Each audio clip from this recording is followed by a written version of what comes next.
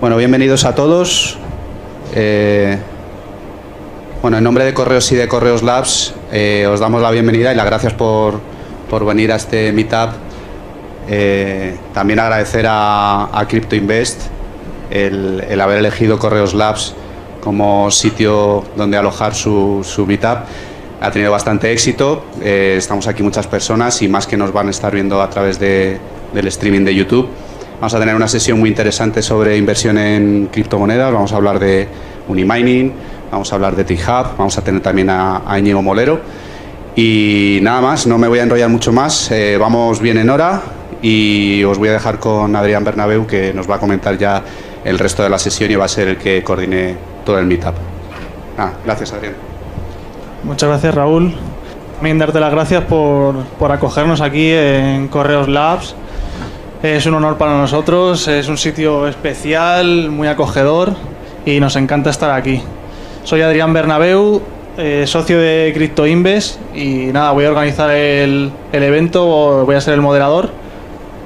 Mm, para esta sesión tenemos a Adrián Bernabeu como presentador, David Alija, mi socio, nos va a hablar un poquito de quiénes somos, qué hacemos, por qué estamos aquí. Luego subirá Juan Aro hablándonos de Unimining, un poquito de minería, nos explicará en qué consiste su proyecto y, y qué hacen. Luego la ICO de tenemos a Yori y a Raúl que nos hablarán de, de su proyecto que está a punto de, de salir, su, su ICO. Y luego tenemos a Íñigo Molero que nos va a aportar un poquito de valor y nos va a contar cosas muy interesantes sobre blockchain, etcétera. Y Félix Fuertes al final nos va a comentar sobre una ICO. Es sorpresa, aún no, aún no, no voy a dar muchos más datos sobre esto. Y después unas preguntitas y, y nos tendremos que ir pirando de aquí, que nos echarán rapidito porque vamos justos de tiempo. Así que doy paso a, a David Alija.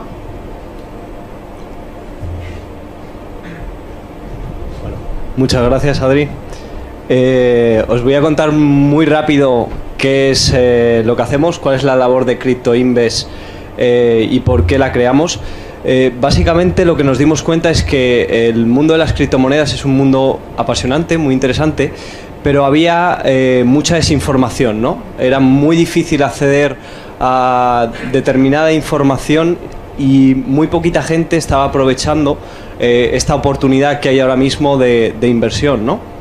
Entonces eh, dijimos, bueno, vamos a intentar llevar esto al mayor número de personas posible y empezamos a dar formaciones, formaciones al principio a pequeña escala, pero a medida que ha ido pasando el tiempo hemos ido creciendo, cada vez hemos hecho más comunidad y bueno, nos hemos juntado cinco personas mmm, apasionadas de, de este mundo.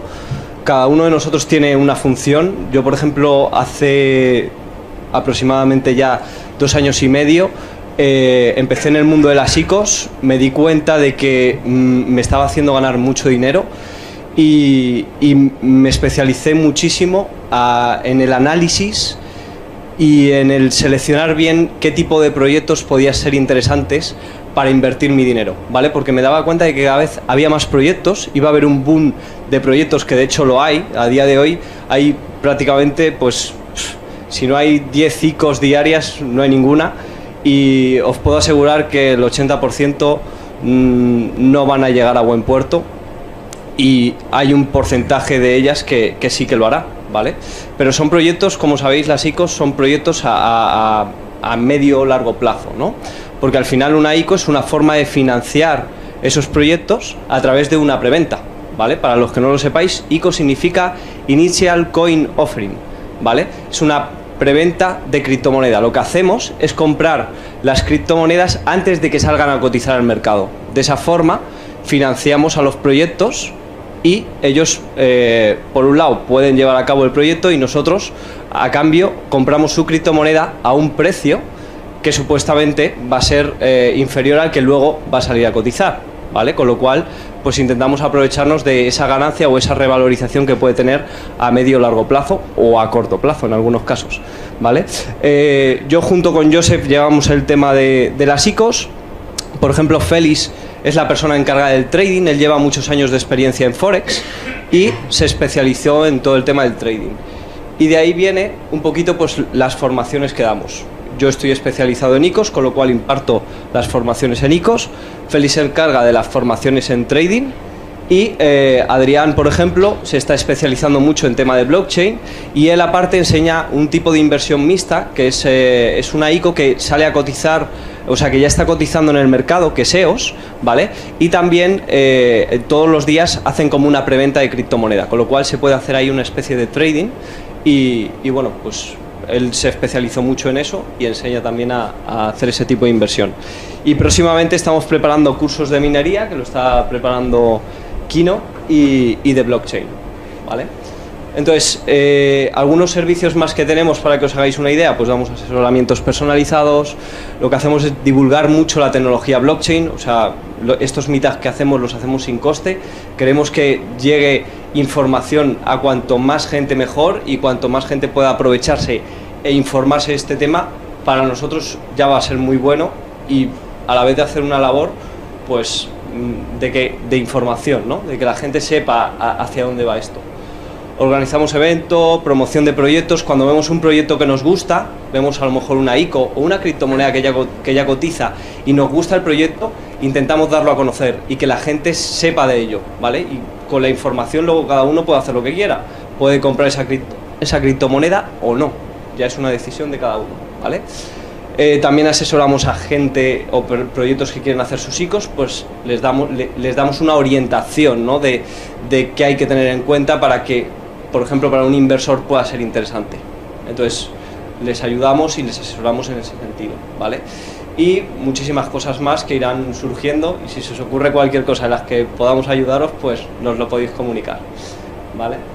Eh, creo que voy a dar paso ya, bueno, a Adrián y que presente a Juan. Un aplauso para David, por favor.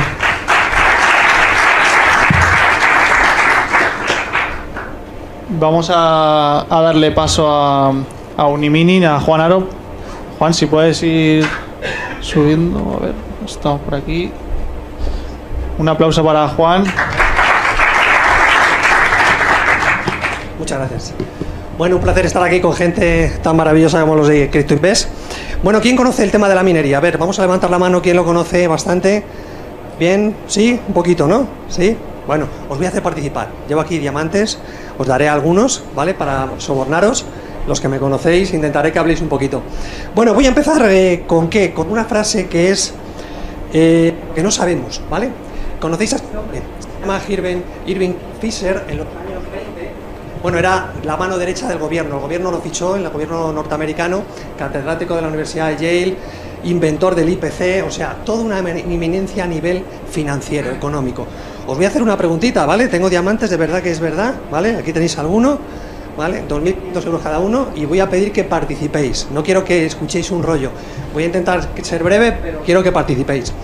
Quiero que extraigamos una moraleja de este hombre, de Irving Fisher, todo un experto, ¿no? de comunicación, de la minería, de lo que es el Bitcoin, de lo que son las criptomonedas. ¿Y qué es lo que le pasó a este hombre? Mirad lo que pone aquí. Unos días antes del lunes negro de 1999, Fisher afirmó en uno de sus informes que la bolsa de Nueva York no estaba sobrevalorada. Un año más tarde la bolsa había caído un 30%. En el 1930, un año después, decidió invertir su patrimonio personal, el de su familia política, absolutamente todo ahí, en la bolsa. Mirad lo que ocurrió en el año después, en 1932. Cayó un 80%. Este hombre no fue de los muchos que se suicidaron, pero perdió absolutamente todo, ¿no? Y yo creo que ya no se habla con, con, sus suegros. Perdió todo, todo el patrimonio también de los suegros y el suyo propio, ¿no? El 80%. A ver, ¿qué quiero decir con esto? ¿Qué quiero decir con esto? Venga, venga, venga, ¿no queréis diamantes? Venga, gracias, por allí. Vamos para allá. Venga, que sí. A ver, ¿qué es lo que te quiere decir esto? ¿Lo puedes coger? ¿Lo puedes coger? Sí. Para ti. Cuéntanos. Sí. micro, ¿no? Gracias. Dime, dime. ¿Qué es lo que dice? Voy a pasarlo por allí. Te paso el micro. ¿Paso el micro? Hay que tener reflejos aquí para coger diamantes y micrófonos. A ver. ¿Es el micro? Sí, es el micro. A la hora de invertir, eh, si tú, tú pones todo tu capital en, en, un solo proyecto, lo que puede pasar es que, que llegues y te hundas como este hombre. Aunque Efectivamente, muy buena lectura. Le damos un aplauso para él. Venga, venga, fuerte. Vamos. Esta es otra lectura, la has dicho tú, ¿no? La avaricia rompe el saco, ¿no? Al final, en el mundo del Bitcoin, de las criptomonedas, sí es algo cierto, no sabemos lo que va a ocurrir. Esto va tan rápido, ¿no? Con Íñigo, otro crack, que me decía que es que esto 15 días, como sabéis, de las criptomonedas y el Bitcoin, ¿qué es? 15 días. Casi un año o un montón de tiempo comparado con otros negocios, ¿no? Va a una velocidad tremenda. Eh, bueno, dar las gracias, como no, a CryptoInvest por haberme invitado. Muchas gracias. Bueno, el perfil mío lo, lo pasamos. Quien quiera saber sobre mí, soy un apasionado del mundo de las inversiones, del dinero, de las finanzas y de los inmuebles sobre todo. Lo que a los dos hermanos Adrián y Quino, pues me dijeron, Juan, los inmuebles están muy bien, pero mira lo que pasa aquí, ¿no? Y ahí fue donde me empecé a iniciar en el mundo del Bitcoin. ¿Qué es lo que sí sabemos? ¿no? Eso es lo que no sabemos lo que va a ocurrir. Pero ¿qué es lo que sí sabemos para aquellos que tienen mil euros? Ahora voy a hablar de un iminin, ¿eh? Porque decir, bueno, pero esto no iba a venir a hablar de un iminin. Ahora viene un iminin. ¿Qué es lo que sí sabemos? Sí sabemos que el dinero parado cada día vale menos. Sí sabemos hoy que recomiendo que un jardinero, un albañil, un empleado de correos también, como no, cualquier tiene que tener ese perfil de intentar que su dinero que crezca, ¿verdad? Las cosas valen más, cada vez valen más. Entonces, sabemos que nuestro dinero quietecito, ya sean euros, dólares, cualquier cosa, vale menos. Entonces, si vale menos, lo ideal es, como decía el caballero, tenemos que invertirlo en algo que, sin que se nos vaya a la cabeza, nos dé buena confianza, ¿no? De eso vamos a hablar hoy, de Unimini. ¿Quién de los que ha levantado la mano, le pasamos el, la... Gracias. ¿Quién de los que ha dicho que conoce un poquito la minería nos lo puede resumir? Venga, ¿quién? Nada, una frase. ¿Quién ha levantado la mano? ¿Sí? Venga, venga. ¿Quién tú? Sí. Seguir con buscar criptomonedas. Eh, vamos, descifrar las claves. Muy bien, vale. Para que te premien con monedas. Yo no voy a hablar, yo no soy técnico, ¿vale? Pero efectivamente, se trata de que aquí tienes una definición, por ejemplo, también la minería de criptomonedas es la actividad computacional necesaria para procesar las transacciones que se realizan en las diversas cadenas de bloques, blockchains existentes. Es la forma en la que se crea dinero en la nueva economía digital. Los que somos mayorcitos, yo tengo 50 años, nuestros padres nos decían cuando les pedíamos mucho dinero, ¿qué te decían? Decían, hijo, ¿tú crees que yo tengo una máquina de hacer billetes? ¿Verdad? ¿A qué? Hombre, ¿qué pasa? Es decir, ¿qué ocurre? O pasaba eso, ¿verdad? ¿No lo han dicho vosotros? O cuando tu hijo, ¿no? Yo tengo una hija de 18 años, un chaval de 29 años, y cuando tu hijo te pide, oye, yo no tengo una máquina de hacer billetes, pues ahora sí. Es decir, curiosamente, está ya aprobado, la minería cotiza, paga impuestos. Por lo tanto, la minería es que tú puedes tener una máquina o varias máquinas o diferentes máquinas que están minando, que están sacando monedas, confirmando operaciones, transacciones y demás, ¿vale? Pero quien quiera saber más de la minería, yo voy a ir al grano, a lo que es qué es un mining, ¿no? Dentro de lo que son minerías hemos dicho que esto hace años sí podría ser rentable, tener uno, dos, tres ordenadores mirando de estos eh, GPUs o máquinas de minar bitcoins era rentable hace años.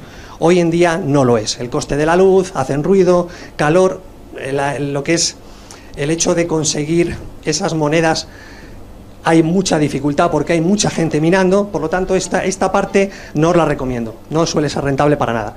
Sin embargo, sí es verdad que las grandes granjas de minería, granjas de minería que son, imaginaros, naves inmensas con cientos de miles de ordenadores que están minando y están todos los días haciendo caja, como una fábrica de la, nacional de la moneda y de timbre, pero haciendo, en este caso, dinero. Que luego eso que pasa lo puedes convertir automáticamente o a bitcoins o de bitcoins a euro, dólar o cualquier divisa. Por lo tanto, es dinero. Luego está lo que es minería en España, hay varias, yo vengo a presentar la nuestra, yo soy fundador de, cofundador de Unimining. ¿Y, y qué, es Unimining? Lo mismo, una gran granja que está en Cartagena, en Murcia, donde tenemos un montón de máquinas. Nosotros no buscamos el capital donde la gente busque una rentabilidad. Nosotros buscamos socios capitalistas. Lo digo porque hay una diferencia grande entre las grandes granjas en Estados Unidos, China, Islandia y muchos otros sitios comparado con lo que es el modelo de negocio nuestro. Ahora os voy a decir las diferencias rápidamente. Bueno, ¿Cómo puede participar uno de esta rentabilidad de la minería, de lo que es el mundo de las criptomonedas? Bueno, pues vamos a verlo. Tenemos dos diferentes opciones. ¿Y esto por qué me metí yo sobre todo en este mundo? Porque para mí, yo soy el fundador también de la Escuela de Inversión. El lema de la Escuela de Inversión es educación financiera para gente corriente. Lo que yo quería era que el ser humano sea libre, es decir, que pueda tener algo que le está produciendo dinero, lo que son los famosos ingresos pasivos, sin tener que estar poniendo tiempo, ¿vale? Entonces, cuando vi y, descubrí lo que era el mundo de la minería, me enganchó, me enamoré. Esa es la razón. Entonces, ¿qué, qué opciones tenemos aquí? La primera, que tú puedas comprar una máquina para ti. Cuando digo una máquina, y esa es una de las grandes diferencias, es que tú ves en tiempo real lo que está haciendo la máquina tuya que has comprado y cuánto dinero te está dando, ¿vale? Los pagos se hacen una vez al mes y va a tu monedero de bitcoins. ¿De acuerdo? Entonces, tenemos la opción 1 con 100 megahash. Estamos hablando de potencia. La potencia es 100 megahash porque minamos Ethereum y luego lo convertimos a bitcoins. El pago se te hace a ti bitcoin porque todo el mundo quiere bitcoins. Hay gente que nos está empezando a decir que quiere Ethereum, pues le pagamos también en Ethereum. Y tenemos la otra máquina, veis que aquí tenemos una duración limitada. Esa máquina está limitada por dos años. Y luego tenemos la duración ilimitada, que es la potencia más grande de 300 MHz, que es la segunda máquina. Tienes para elegir una u otra máquina. Y las máquinas están durando, las que nosotros tenemos, montamos, de 3 a 5 años. 24 horas al día, 7 días a la semana. Eh, ¿En qué somos diferentes? Esto es lo que decía antes. Nosotros buscamos socios capitalistas. Nosotros somos el socio industrial, nosotros ponemos la nave, ponemos los técnicos, el mantenimiento, ponemos todo lo que es el trabajo, tú sigues con tu vida y tú ves tu máquina o tus máquinas lo que están haciendo, toda la noche si quieres, una vez a la semana, cuánto están minando y el dinero que se te está ingresando en tu monedero, en tu wallet, lo tengas donde lo tengas. Pero insisto, la diferencia la entendéis bien lo que es es que estás esperando una un contrato donde estamos estableciendo todo lo que puede ocurrir con esas máquinas y ponemos como garantía la máquina o las máquinas. Comprando 8, 5, 15 máquinas y que están minando constantemente. ¿En qué más somos diferentes? Nosotros, lo hemos dicho antes, hacemos todo, tú pones el capital, contrato de cuentas en participación, para aquellos que sean abogados, pues que vean ese tipo de contrato como es, o nos lo pedís y os lo mandamos, y luego transparencia, honestidad e integridad. Es decir, nosotros no queremos grandes o gigantes, queremos ser muy transparentes, honestos y sobre todo íntegros.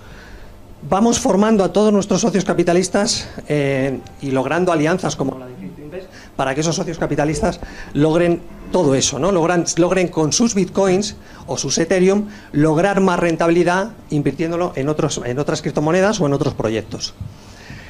Em, vamos a hablar ya de dinero. ¿Cuánto vale la primera máquina, no? 2.000 euros. Ya habéis visto que tenía una duración limitada de dos años. Lo pone aquí, duración dos años, rentabilidad, no estamos hablando de la revalorización del Bitcoin. No estamos hablando de esa revalorización, que sí, que ahora está al alza, pero puede caer. Entonces, es verdad que si hablamos de un 13%, como tú estás recibiendo en bitcoins, puede ser que el bitcoin tire para arriba, por lo tanto este porcentaje subirá. Esta es la media que se está entregando hoy por hoy, va a ser mayor, porque ya estáis viendo lo que está pasando con el Ethereum. Nuestra moneda de referencia es el Ethereum a la hora de que tú cobres, aunque lo recibas en bitcoins. El 70% de esa cantidad es para el socio mes a mes. En la opción segunda, el precio de la máquina lo tenéis ahí arriba, 5.750 euros la potencia son 300 megahash y 450. ¿Qué vamos a intentar hacer nosotros? Estamos poniendo siempre cantidades para no pillarnos los dedos mínimas. Los socios cobran más, ¿vale? Los socios digo todos, los industriales y los capitalistas. Pero bueno, ponemos estas cantidades que son las, las que se están pagando. El 70% son 315 euros de esa cantidad aproximadamente y repito, lo recibes en bitcoins, no en moneda fiat. La rentabilidad anual en esta máquina es un 40,7% sin contar la revalorización y la duración, la que he comentado. Eh, esta frase de Robert Kiyosaki es muy cierta, ¿no? El rico invierte su dinero y gasta lo que queda, el pobre gasta su dinero e invierte lo que queda. Yo creo que es lo que decía antes, que hay que mentalizar a la gente a que su dinero trabaje para él y no al revés. Eh, para aquellas personas que pidan información, que soliciten información solamente por solicitar información, tú vas a solicitar información. Ahora Vamos ahora con las preguntas. ¿Cuánto tiempo me queda? ¿Sí? Bien. Ahora vamos con las preguntas. ¿No te importa? ¿Sí? Digo, termino ya esto rapidito. Hay un, bueno, aquella persona que diga, oye, yo quiero recibir información o quiero, me interesa más, por el mero hecho de haber venido hoy aquí, con que tú des esta palabra clave a la hora de solicitar información, es esta palabra exclusiva para vosotros, ¿vale? Se llama BIT6510. Mis compañeros os van a mandar cuatro cursos digitales. ¿De qué? Pues no va a ser de criptomonedas, va a ser de temas de cotidianos, de temas de bolsa, de temas de cómo encontrar trabajo en tiempos de crisis, cómo ascender en la empresa, cómo encontrar un trabajo mejor. Es decir, bueno, pues que son cuatro cursos de la otra empresa nuestra, que es la Escuela de Inversión. Entonces, por el mero, son cuatro cursos digitales, os vamos a mandar esa información como detalle por haber venido. El mail eh, lo tenéis ahí, socios arroba la escuela de inversión.com y ahí están las oficinas nuestras en Paseo de la Castellana 95 y en Getafe. Y bueno, todo lo tenéis en la página web eh, o bien uniminingbitcoins.com o bien socioscapitalistas.lascuelainversión.com. Ahí tenéis toda la información, ¿vale? Y sí, ahora sí, vamos con las preguntas. Mira, si me dicen que, que cojas el... Cuidado, no te vayas. Muy bien. Eh, sí, yo tenía una duda. Eh, ¿Realmente es rentable minar en España con los precios de la luz y todo esto? Y luego otra cosa es... Siempre sales. ¿Realmente eh, se dice que cada vez minar es más complicado, tarda más, más proceso, más tiempo? Esas son las dos dudas. Así. Efectivamente. estos números están, lógicamente, sin hacer nada más. Es decir, por supuesto que hay un proyecto ahora en marzo para poner placas solares. Lógicamente, en el momento que pongamos placas solares va a haber un 30% más. En España es rentable si hay muchas máquinas, lo he dicho al principio. Si tienes muchas máquinas, ¿a qué llamo yo muchas? Más de 50. Si tienes menos, la rentabilidad baja y además tienes que contar con todos los costes de tener, tienes que mantenerlo, el alquiler, internet, todo eso, ¿no? Pero efectivamente, el siguiente salto es irnos a Islandia. Ya hemos estado en Islandia y nos vamos a ir para allá. ¿Para qué? Para siempre pensando, tengo que pensar en el socio capitalista y en mí. Si hay más dinero para ti, hay más dinero para mí. Entonces, esos son los pasos que vamos a dar. El primero va a ser placas solares. Los números son los que están aquí, que no están mal, sabiendo que la criptomoneda sigue tirando hacia arriba y hacia abajo de vez en cuando, ¿no? Pero luego el siguiente paso después de las placas solares es Islandia. Y entonces ya estaríamos doblando seguramente esas cantidades. ¿Vale? Muy buena pregunta. Pero no rentable a título individual. ¿Por aquí había alguna pregunta más? Sí. Ilimitado ponía. Ilimitado y después ponía 4 o 5 años. Ilimitada es la vida que dure la máquina. Nosotros las mimamos muchos porque, lógicamente, también depende, cuando hablábamos antes del tema del consumo, eh, ahí tiene que ver mucho la configuración de la máquina. Las máquinas nuestras tienen 13 tarjetas gráficas. Las otras máquinas de minar suelen tener 5 o 6. Es decir, son máquinas que las cuidamos muchísimo para que esa vida tan larga de 4 o 5 años llegue ahí, ¿vale? Por eso ponemos ilimitada lo que dure la máquina en la opción segunda. La opción primera la fijamos en 2, tiene menos tarjetas gráficas y bueno, el rendimiento es menor, ¿vale? Y, otra pregunta, eh, ¿las máquinas las compráis? No las, diseñáis vosotros, o sea, tenéis ingenieros, etcétera. Efectivamente. Nosotros no compramos ya las máquinas montadas. Eso es un poquito el secreto de por qué minan más que otras. Eh, porque lógicamente si tú coges una máquina cualquiera, a cualquiera que esté minando le enseñas estos números y no le cuadra. Uno de los secretos es ese, efectivamente. ¿Qué tipo de tarjetas, cómo las ponemos a minar, etc, etc. Todo eso es lo que hace que al final se consigan más monedas y más, más dinero para el socio. Y, la última, ¿qué, potencia tenéis ahora? ¿De qué? ¿De las naves?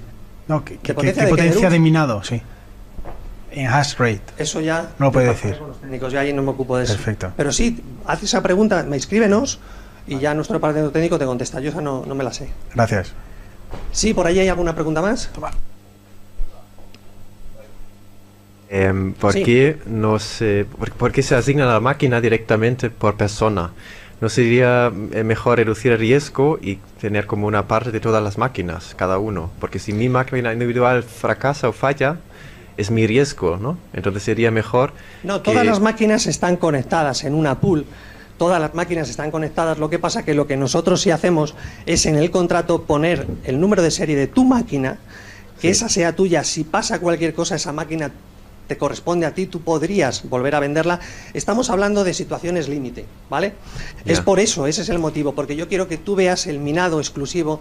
Si te habéis comprado minería en, en las grandes granjas, yo sí lo he hecho, en las grandes granjas de minado, eso no lo tienes tú no estás viendo lo que está minando la tuya. Te están haciendo un reparto Pero dependiendo podría de ver, podría ver lo que está minando sea globalmente y cuál es mi porcentaje. Porque así bueno, reduciría mi riesgo, ¿no? No sería una máquina solo que.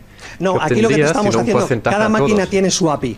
y cada API va asociada a tu zona privada. Es decir, esa es la gran diferencia que no te estamos dando un cálculo aproximado, no, no, cada máquina dentro de la pool está, está compitiendo con, todas las demás y tú estás recibiendo esa información. Eso es como cuando compro árboles de, un bosque en Sudamérica, ¿no? Si, si, si, si, a mí me pertenece un árbol, el riesgo es mucho más alto que, que pertenecer un por cien de todo un bosque. No, pero hablamos de información, de la información que tú tienes.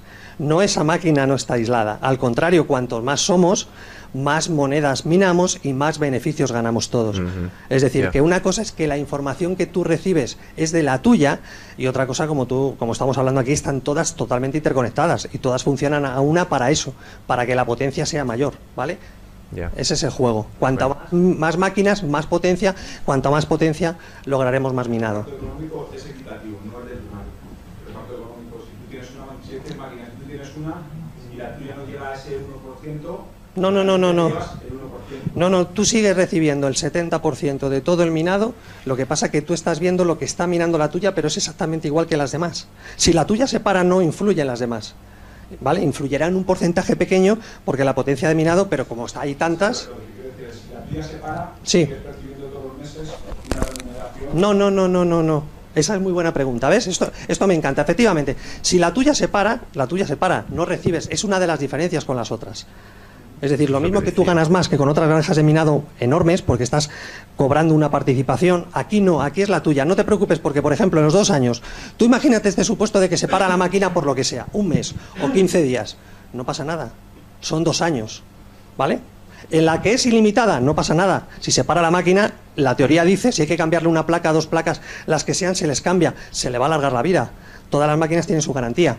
O sea que no, efectivamente no cobraría, se te comunicaría, oye, ha pasado esto con tu máquina y ese es el servicio que estamos dando a nivel eh, personalizado. No es, a mí me da igual, no, no es que la máquina es tuya, vamos a, a mirar porque la máquina esté dos días parado, una semana, no tiene sentido, ¿vale?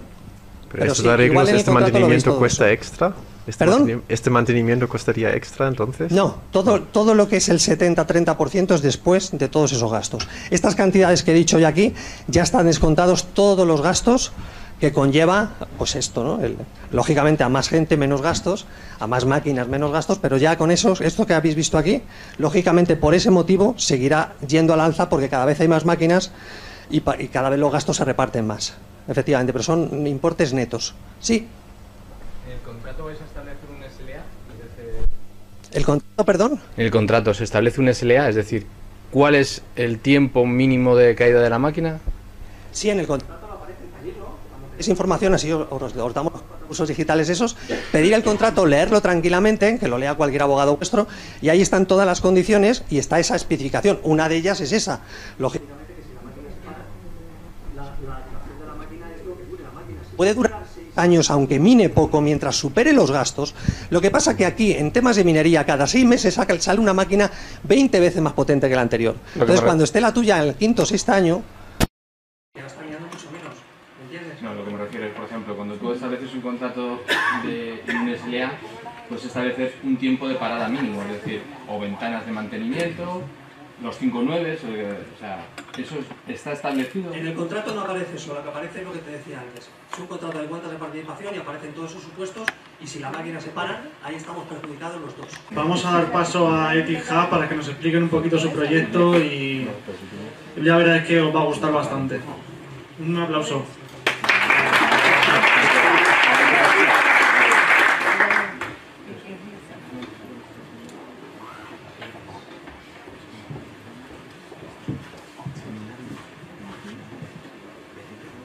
¿Dónde hay más dinero en el mundo? Por eso ahí hay poca rentabilidad. ¿Dónde no hay suficiente dinero? Por eso los intereses son altos y el dinero no alcanza para prestarles a todos. ¿Y si el dinero circulara libremente por el mundo? El inversor europeo promedio tiene acceso a inversiones de baja rentabilidad y otros deciden en qué usar su dinero. Además de los altos costos de transferencia, hay barreras legales y burocráticas que le impiden invertir en el extranjero. Los pequeños agricultores de México tienen una actividad rentable, pero al no ser sujetos de crédito bancario, recurren a prestamistas locales con intereses muy altos. EPIHub hace las conexiones financieras más fáciles y económicas, creando valor para ambas partes, más rentabilidad al inversor y préstamos con menor interés para los agricultores. Nuestro nodo local conoce y evalúa que el préstamo solicitado corresponda con la tarea a financiar. Los ayuda a integrarse en un grupo que solicita un préstamo colectivo. Ahora estas oportunidades de inversión están disponibles para usted, para inversores que se preocupan por el impacto positivo de su dinero, pero que también quieren una buena rentabilidad. Por fin es rentable.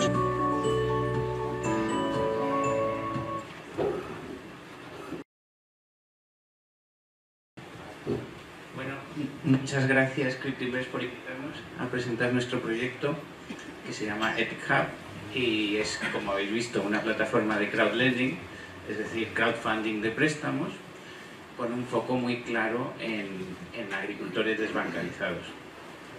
Y voy a empezar, he empezado por el vídeo para que entendierais qué es lo que hacemos. Y ahora pues profundizo un poco en el por qué lo hacemos. Eh, el, el, el, objetivo de TikHub, o sea, la misión es eh, contribuir a romper las barreras del dinero no tiene mucho sentido que un, un, un, agricultor igual de solvente en México que en Alemania uno pague el 3% de intereses y el otro pague el 100%, porque los agricultores desbancarizados pues pagan el 100% de intereses con suerte si consiguen financiación. El, y el otro objetivo, eh, o sea, la otra misión es el tema directamente rentable. Nuestra visión es ser el referente de crowdlending internacional de impacto positivo y nuestros valores son igualdad de oportunidades, confianza y comunidad. Porque lo que queremos hacer es construir una economía entre las personas. El crowdfunding es una actividad que lleva creciendo eh, a casi el 100% anual, pero no había conseguido superar las barreras locales o sea, era una actividad muy, de mucho crecimiento, pero solo dentro de las mismas regiones económicas. No había plataformas de crowdlending que atas entre países. Eso con blockchain pues, eh, es posible, blockchain y las criptomonedas, en base a criptomonedas y smart contracts, eh, romper esas barreras que, que, que separan las zonas económicas y no solo eso, hacer rentable el sector de los desbancarizados que es enorme. Nosotros vamos a empezar con un nicho que conocemos muy bien, yo soy medio mexicano, eh, que son pequeños productores de café en México.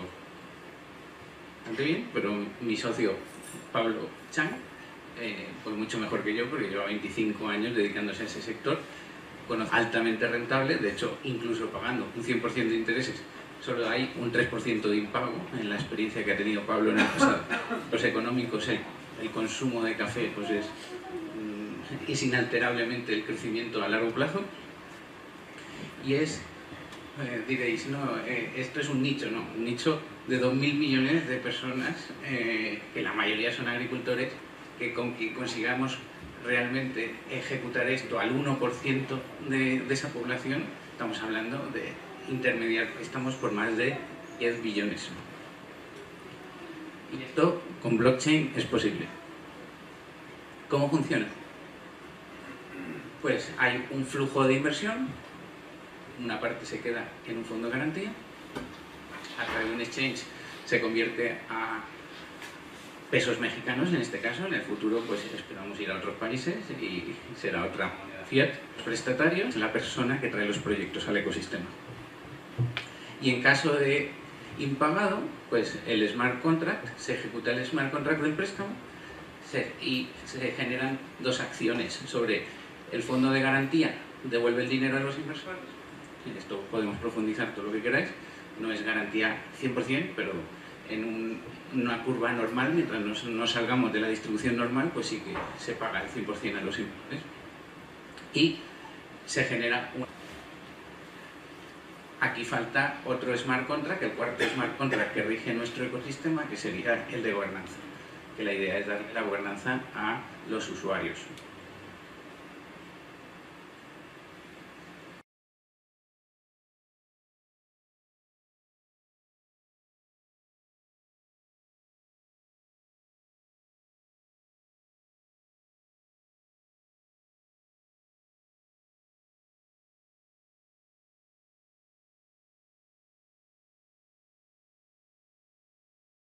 Aplicando blockchain a nuestro negocio, al crowdlending, se consigue que el dinero de verdad sea P2P, el movimiento de dinero, que es lo, eh, en base a smart contracts, tú le prestas dinero, se ingresa en un smart contract y el smart contract, si se cumplen las condiciones, se eh, liberan los fondos y esto pues es una gran ventaja de cara a confianza.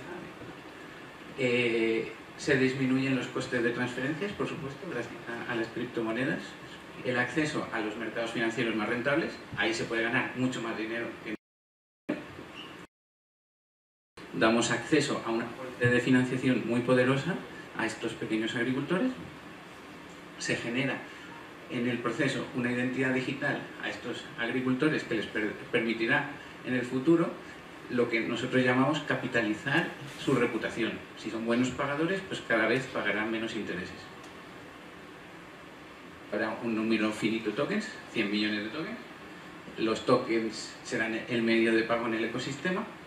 Se acumularán tokens en el fondo de garantía y, eh, aunque no es eh, el objetivo, pues no podremos controlar que haya especuladores que eh, guarden parte de, esos tokens y liberaremos precisamente para controlar la especulación los tokens gradualmente a lo largo de los años eh, eh, y tenemos una comunidad muy activa, todavía pequeña, somos 500 básicamente, pero muy activa, que, cree en el proyecto, que el 92% en una encuesta ha dicho que va a invertir y que le da un, de media un 8,7 a, sobre 10 al proyecto. Eh, y que, por tanto, pues estamos trabajando para intentar sacar la, la pre-sale. Este, esta pre-sale o esta primera venta de tokens es solo la primera.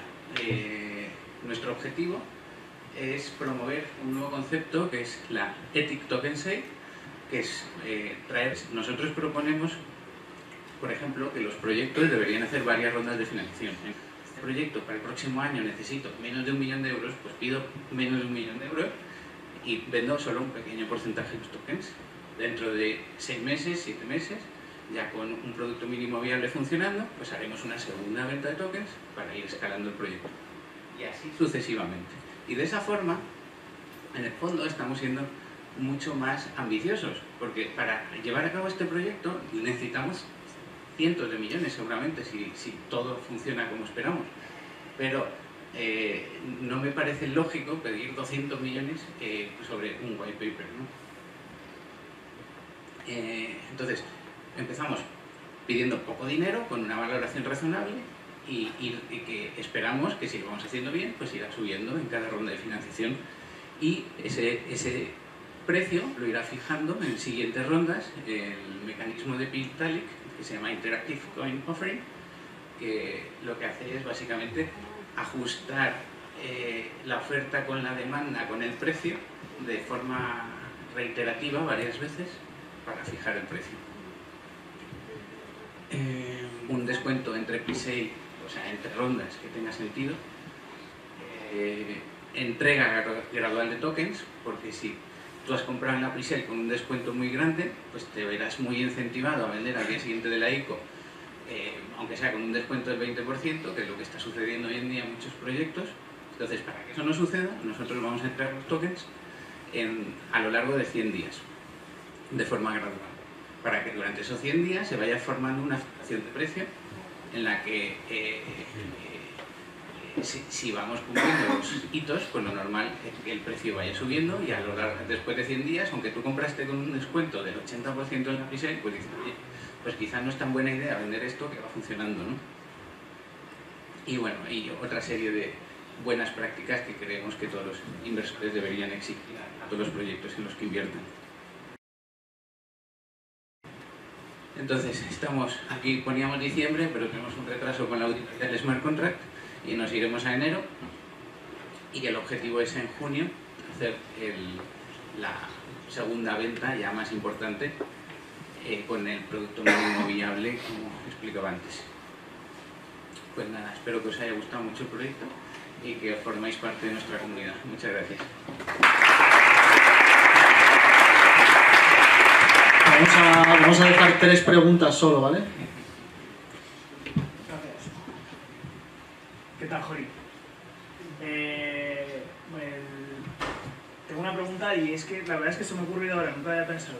Eh, con este sistema nuevo que me has dicho, que has comentado de Vitalik acerca de las... ¿Cómo se llama? Interactive. Em, ¿cómo, ¿Cómo compites con el, con el em, tenedor de tokens que intenta vender en el exchange eh, sus tokens en ese momento? ¿no? Es decir, estamos diciendo que, eso, eso, va a ocurrir cuando ya los tokens de GitHub estén en, en exchange, ¿no? Entonces, ¿cómo se compite contra eso? O sea, ¿cómo, cómo hacer para que se te compren a ti los tokens en vez de al exchange? Bueno, eso eh, en el mundo tradicional está perfectamente validado, digamos, cuando una empresa cotiza en bolsa y quiere hacer una ampliación de capital para comprar otra, por ejemplo, eh, pues eh, está compitiendo al hacer esa nueva venta de acciones con los que ya están, tienen acciones en la bolsa. Y si es exitosa esa venta de acciones, esa ampliación de capital, pues el mercado normalmente entiende que, eh, oye, pues que esa compra es buena, eh, va a aportar valor a la compañía, a, la, esa integración o lo que sea, ese proyecto de crecimiento, que esos fondos se van a usar bien y, por tanto, pues revalorar. Y ahí pues es donde entra el, tema de Vitalik, de la Interactive Coin Offering, ¿no? Pues, ¿Y cómo se genera, gesta ese precio? Pues en el mundo tradicional pues se fija un precio X eh, y creo que gracias a, los smart contracts pues se puede hacer mucho mejor con el sistema de Vitalik. Espero que lo haya resuelto. Sí, claro. Eh, porque si realmente el asunto es que se pone un precio más interesante sobre el que está fijado en el mercado en ese momento, lo único que se hace es tender a que el precio en el exchange baje, ¿no? Mm, entonces un poco yo veo ahí que, que pues una lucha, ¿no? También un poco eh, de, del proyecto queriendo vender sus tokens y por otro lado los inversores que ya tienen tokens que en ese momento pues por lo que sea los quieren vender.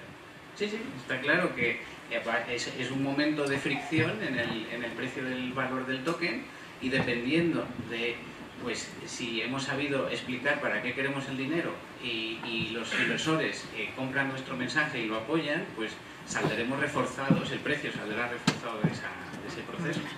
Y si no es así, pues saldrá debilitado. Sí, porque eso ahora, por ejemplo, en Sal Lending puedes comprar los tokens de Sal, ahora mismo desde la plataforma, pues no sé si son como tres o cuatro veces más caro. Eh, la, verdad es que no, entiendo por qué, que es otra, otro proyecto de lending. Pero bueno, era un poco por saber esto. ¿Más preguntas? ¿Un Sí, sí. Hola. Genial. Eh, muy bueno. Bueno, soy Miguel de Tutelus. Una, una pregunta relacionada con la gobernanza. Eh, lo has pasado muy rápido, pero si nos podrías contar un poco más sobre qué mecanismos de gobernanza pretendéis implementar en los tokens, sería genial. Bueno, pues eh, de momento en el roadmap lo tenemos en el 2020. Eh, sabemos que queremos que esa, este, digamos, la capacidad de voto va a estar pesada por la gente que usa la plataforma, no solo por los que han comprado el token en la ICO, sino que queremos que sea quien realmente esté prestando el dinero, trayendo proyectos y bueno, funcionando con esto, los que lo junten. Estamos, es un diálogo que tenemos ahora abierto. Eh, no hay tantas plataformas que hayan salido directamente descentralizadas. Eh, estamos viendo a ver si también eh, hay capacidad de integrarnos a lo mejor con otros proyectos que ya están ofreciendo soluciones para gestionar eso. pues ¿por qué no hacerlo con Aragón, por ejemplo? Si Entonces, ahora mismo es más una meta que tenemos, pero primero tenemos que echar a andar toda la estructura.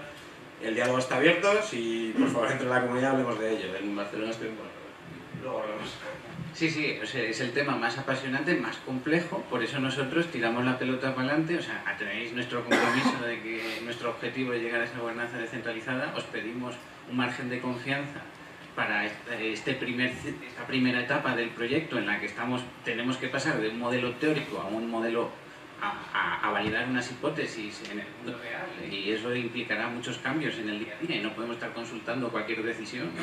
Entonces, eh, pero a, largo plazo, pues en estos dos años, pues lo que haremos es mm, pensar y validar con todos los proyectos que ya están intentando ejecutar una gobernanza centralizada, pues esas mejores prácticas y implantarlas en nuestro proyecto.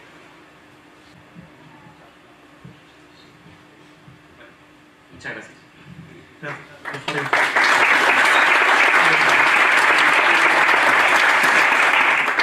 Bueno, esto es lo primero, lo que os decía antes. La tecnología blockchain lo que nos va a proporcionar por primera vez en la historia es la descentralización de la confianza. A mí me gusta mucho ponerlo como una especie de péndulo. Péndulos donde hemos estado a lo largo de nuestra vida, a lo largo de toda la historia de la humanidad, en situaciones muy centralizadas y otras muy descentralizadas. Si nos fijamos, por ejemplo, en, ah, en el acceso a la información y lo comparamos en la Edad Media, donde todo el acceso a la información o el conocimiento estaba muy restringido en los monasterios en los castillos feudales, vemos cómo ese péndulo fue variando desde la descentralización, desde la centralización con la aparición de la imprenta, el descubrimiento, redescubrimiento en Europa, hasta Internet, donde todos teníamos un acceso. O sea, que ese péndulo pasó a lo largo de todos estos tiempos desde la centralización a la descentralización. Y, ¿Y qué tenemos ahora? ¿Qué es lo fascinante que os decía ahora? Que gracias a la tecnología blockchain, la confianza, que siempre ha estado muy centralizada en entes eh, en, entes centrales que teníamos, por así decirlo, que mediaban entre nosotros, puede pasar o está pasando de forma muy rápida de ese lado del péndulo, de una forma más centralizada a otra absolutamente descentralizada y de una forma muy rápida. Y eso es lo que nos va a llevar a nuevas situaciones hasta ahora que eran un poco impensables. Blockchain también se dice que es la tecnología de la verdad, en el sentido de que todos ah, los registros son inmutables, ¿no? Y que por primera vez dos personas que no se conocen entre ellas pueden llegar al acuerdo de que un registro establecido es cierto para ambas partes, ¿no? Y entonces, también puede ser una transformación de la sociedad, en el sentido que algunos le llaman la sociedad 3.0. No necesitamos confiar en terceras personas, ahora en esos entes centralizados. Es extraordinariamente seguro y privado gracias a la criptografía, como hasta ahora no lo habíamos visto. Esta foto me gusta mucho, este es un granjero de Etiopía que, que, tiene un teléfono móvil y acceso a los datos al teléfono móvil. O sea que en ese sentido está a la misma altura, por así decirlo, que en las sociedades más, más desarrolladas personas. Y ahora es un poco, esto es lo más importante, que es lo que yo quería hablar con vosotros ¿no? hoy. Ah, y os voy a contar una historia muy importante que tiene que ver con Bitcoin, con blockchain, que es la descentralización de la criptografía. La criptografía, si nos fijamos en la Segunda Guerra Mundial, se dice que los aliados ganaron la guerra por tres motivos. La fuerza de los rusos, el dinero de los estadounidenses y la inteligencia de los británicos. ¿A qué se refiere este último punto? Los británicos fueron capaces de descifrar las telecomunicaciones alemanas con la máquina Enigma. Es decir, fijaros el avance tan bestial que tenía, ah, sí, o sea, la ventaja competitiva si tú eres capaz al mismo tiempo que saber que un, general alemán manda a sus tropas, conocerlo y poder actuar de una forma u otra. Y entonces, después de la Segunda Guerra Mundial, los estados se dieron cuenta que la criptografía, por así decirlo, era vital para ellos, tanto para encriptar sus comunicaciones como para evitar que otros las desencriptaran. Y frente a ellos tenemos un grupo de individuos muy pequeñitos por así decirlo, que pensaban que la criptografía era fundamental para el ser humano, por el derecho que tenían un poco a, su propia intimidad, ¿no? Y que tenían derecho a que nadie pudiera saber qué es lo que estaban hablando.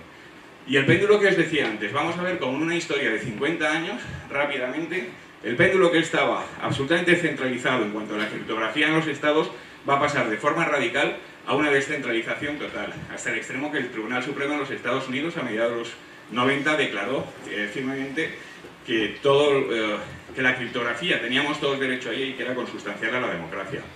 Y ahora os voy a contar brevemente algunos de los personajes que son importantísimos en otra esta historia.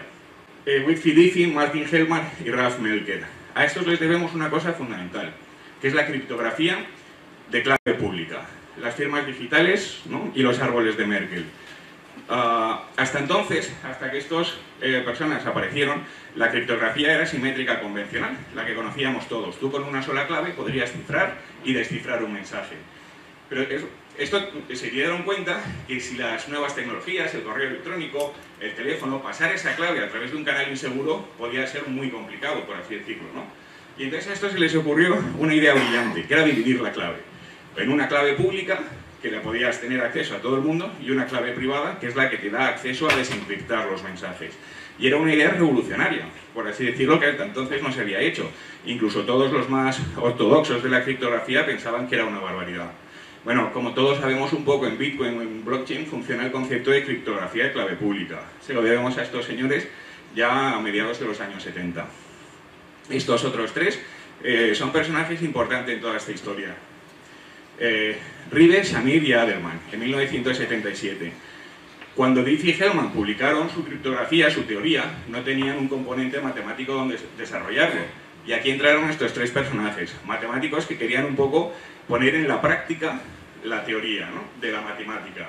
Y lograron desarrollar un algoritmo eh, de funciones unidireccionales eh, con factorización de números primos, para dar sentido a lo que habían hecho los otros. Ahí tenemos el algoritmo RSA y en función de eso es cuando se va a desarrollar eh, la fortaleza de las cuestiones eh, criptográficas. Y una curiosidad que me gusta decir, fijaros que eh, Hellman lo publicaron en una revista abierta, estos lo publicaron también en una revista abierta y dijeron, lo hemos encriptado de esta forma, si alguien es capaz de desencriptarlo le damos 100, 100 dólares y hicieron partícipe de la comunidad. Pues un poquito antes, en 1967, cuando eh, Hellman empezaba a buscar sus cosas criptográficas, ni siquiera estaba en la universidad, un británico, James Ellis, logró inventar algo muy parecido, que lo llamó el cifrado no secreto. Y poco tiempo después, dos compañeros suyos, Clifford Cox y Malcolm Williams, eh, lograron hacer un algoritmo como hicieron los norteamericanos. ¿Qué ocurre? Que estos trabajaban para lo que era un poco la NSA de, de Londres. Y entonces, si el funcionario de arriba o su jefe no le parecía interesante, eh, no iba más allá. No llegaba a la comunidad, no se podían desarrollar cosas. Pero es muy curioso porque los ingleses tuvieron esta tecnología antes y podían haber hecho industria como hicieron los norteamericanos. Y aquí entramos, yo creo, otras cosas fundamentales para entender eh, cómo surge Bitcoin, cómo surge blockchain, ¿no? que son el hacktivismo y los cyberpunks. Personas que querían llevarlo al extremo, ¿no? pretendían facilitar la comunicación segura entre personas, la tecnología fuese en beneficio de la humanidad, y el más conocido de ellos puede ser Dementor, que publica su manuscrito La conciencia de un hacker, donde trata de justificar por qué hace este tipo de cosas. ¿no? Dice, sí, soy un criminal y mi crimen es la curiosidad. Manuscrito real porque estaba encarcelado y no tenía acceso a un ordenador. Y de ahí vamos viendo que de los primeros que os voy diciendo se van creando grupos, ¿no? en función de los, eh, de los avances que van saliendo. Tenemos a los cyberpunks que van siguiendo un poco lo mismo, pero ellos incorporan la criptografía como una tecnología, como una herramienta ¿no? para sus usos y para lo que pretendían. Y ahí van fundando, por ejemplo, el Electronic Frontier Foundation, donde se van agrupando todo este tipo de personas y lo van haciendo. Claro, es que había cosas ridículas en toda esta batalla que la NSA prohibía que los libros criptográficos, por así decirlo, se pudieran exportar. De hecho, había una cosa tan absurda que tú podías, no podías exportar archivos digitales, tú podías llevarte un libro, si estaba impreso, sobre criptografía, pero no podías exportar ese archivo digital. Este es otro de los personajes importantes en toda esta historia, Phil Huberman. Él desarrolla, en base a los trabajos de los otros, el PGP, el Pretty Good Privacy, una forma para que cualquier persona, y lo pone en internet, pudiera encriptar sus comunicaciones. A partir de la primera versión, hace una segunda ya contando con la comunidad y se van mejorando este tipo de cosas.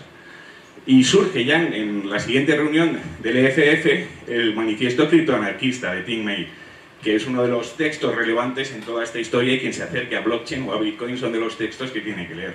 ¿no? Que venía a decir eso, mundo levántate, no tienes nada que perder, salvo tus alambradas. Y luego otros ejemplos que os pongo, pero os voy a dar una explicación de que os, que os pongo todo esto.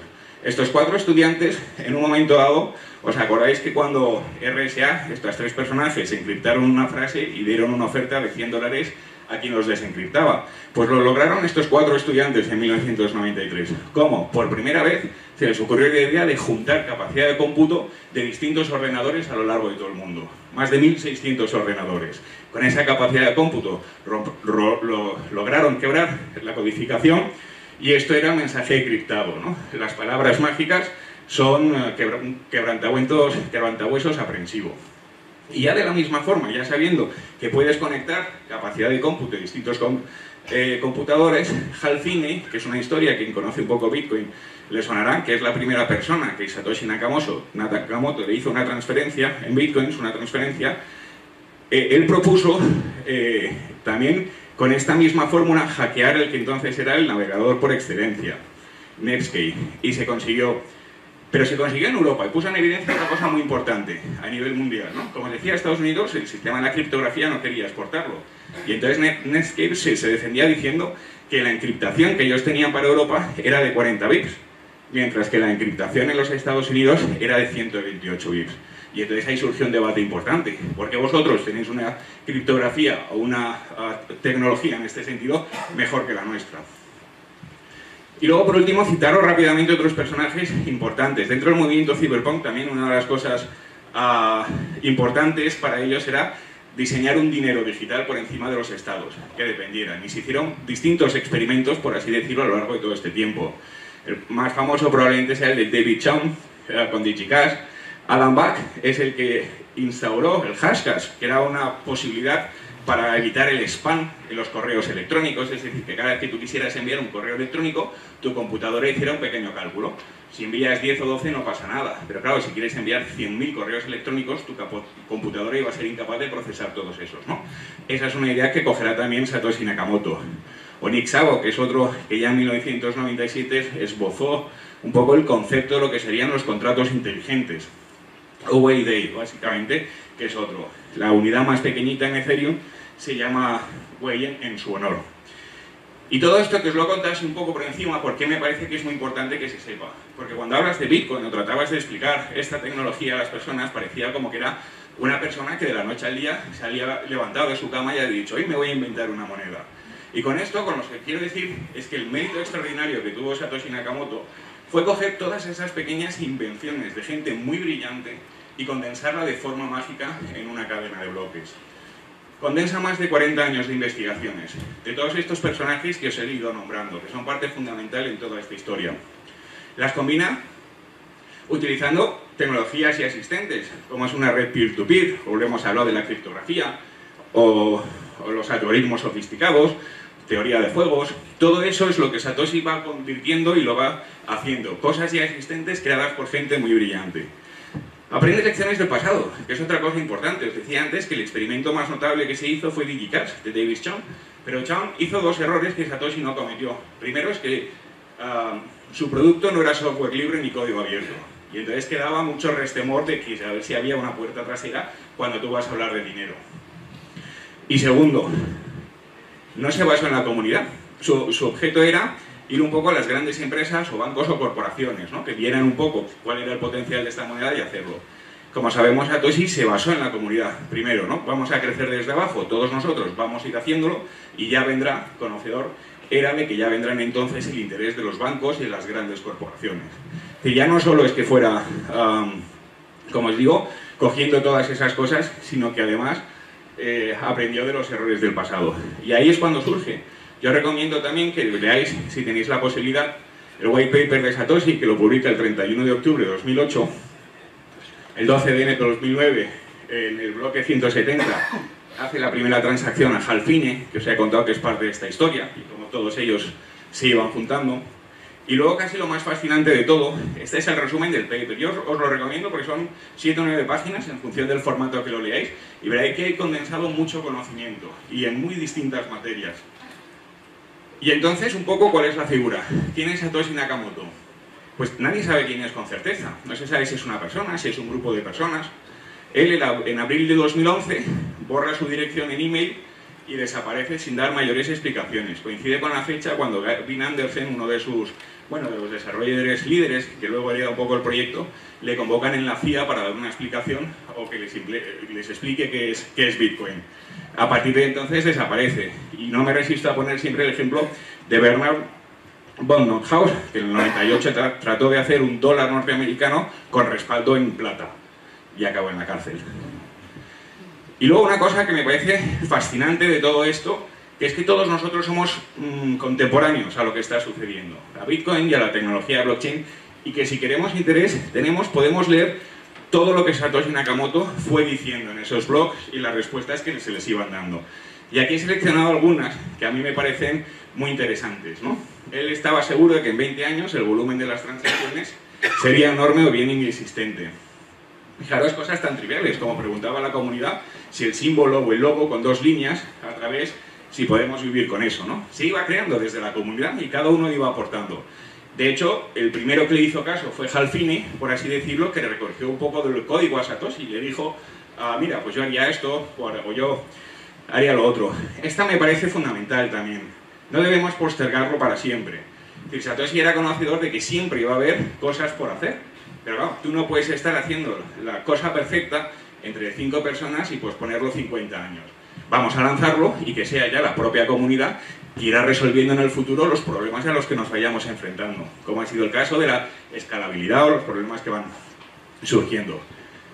Y luego había, no sé si visteis, hace un par de meses creo que Julian Assange sacó un tuit muy gracioso agradeciendo a Estados Unidos que lo hubieran bloqueado en 2010 cuando hizo, eh, publicó esas noticias confidenciales o secretas de, Estados Unidos. ¿no? Entonces se le bloqueó eh, todo el acceso a la financiación, no podía recibir transferencias bancarias, ni Visa, ni por ah, PayPal, ni por un tipo. Y entonces surgió la posibilidad de ayudar a Julian Assange a través de Bitcoins y puso en evidencia que Bitcoin era capaz de mm, pasar por encima de los estados, por así decirlo, ¿no?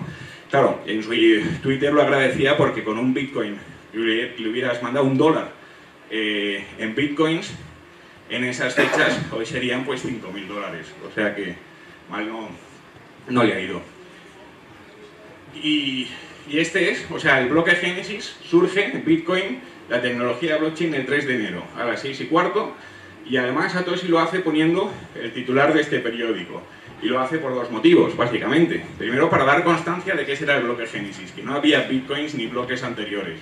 ¿eh? Pone el titular que había. Y segundo, eh, pues yo creo que el ministro de Hacienda al borde del segundo rescate de los bancos, ¿no? sabiendo un poco eh, de dónde veníamos a la crisis a la que nos enfrentamos, la crisis económica, y que era un poco esa también la motivación de los ciberpunks. Y en ese sentido, que era hacer un dinero, vemos pues que las características del dinero, si lo comparamos con el que ha sido el oro o el dinero en efectivo, los euros, eh, pues las ha optimizado en muchos de los, de los aspectos, ¿no? Si entendemos a Bitcoin como, como dinero, por así decirlo. Aunque luego veremos que puede ser otra cosa que es de las más fascinantes que a mí me parecen. Y esto es muy importante, lo que os decía antes, software libre y código abierto te va a permitir a crear una comunidad, te va a, crear, a permitir que la comunidad participe, que vaya mejorando en este mismo proyecto. ¿no? A diferencia de lo que hizo David Chang, que su código era privativo, no pudo obtener esa comunidad ni nadie podía fiarse de lo que estaba viendo. No debe haber código informático más escrutado que el de Bitcoin de sus inicios, para buscar cosas malas o para contribuir a mejorarlo. Y otros ejemplos, pues lo que conocemos todos, como puede ser Linux, Android, Apache, y esta es otra cosa que yo os decía que me parece fascinante, sobre que os decía al principio, ¿qué es Bitcoin realmente? ¿Es dinero? ¿Es reserva de valor? ¿O puede ser otra cosa?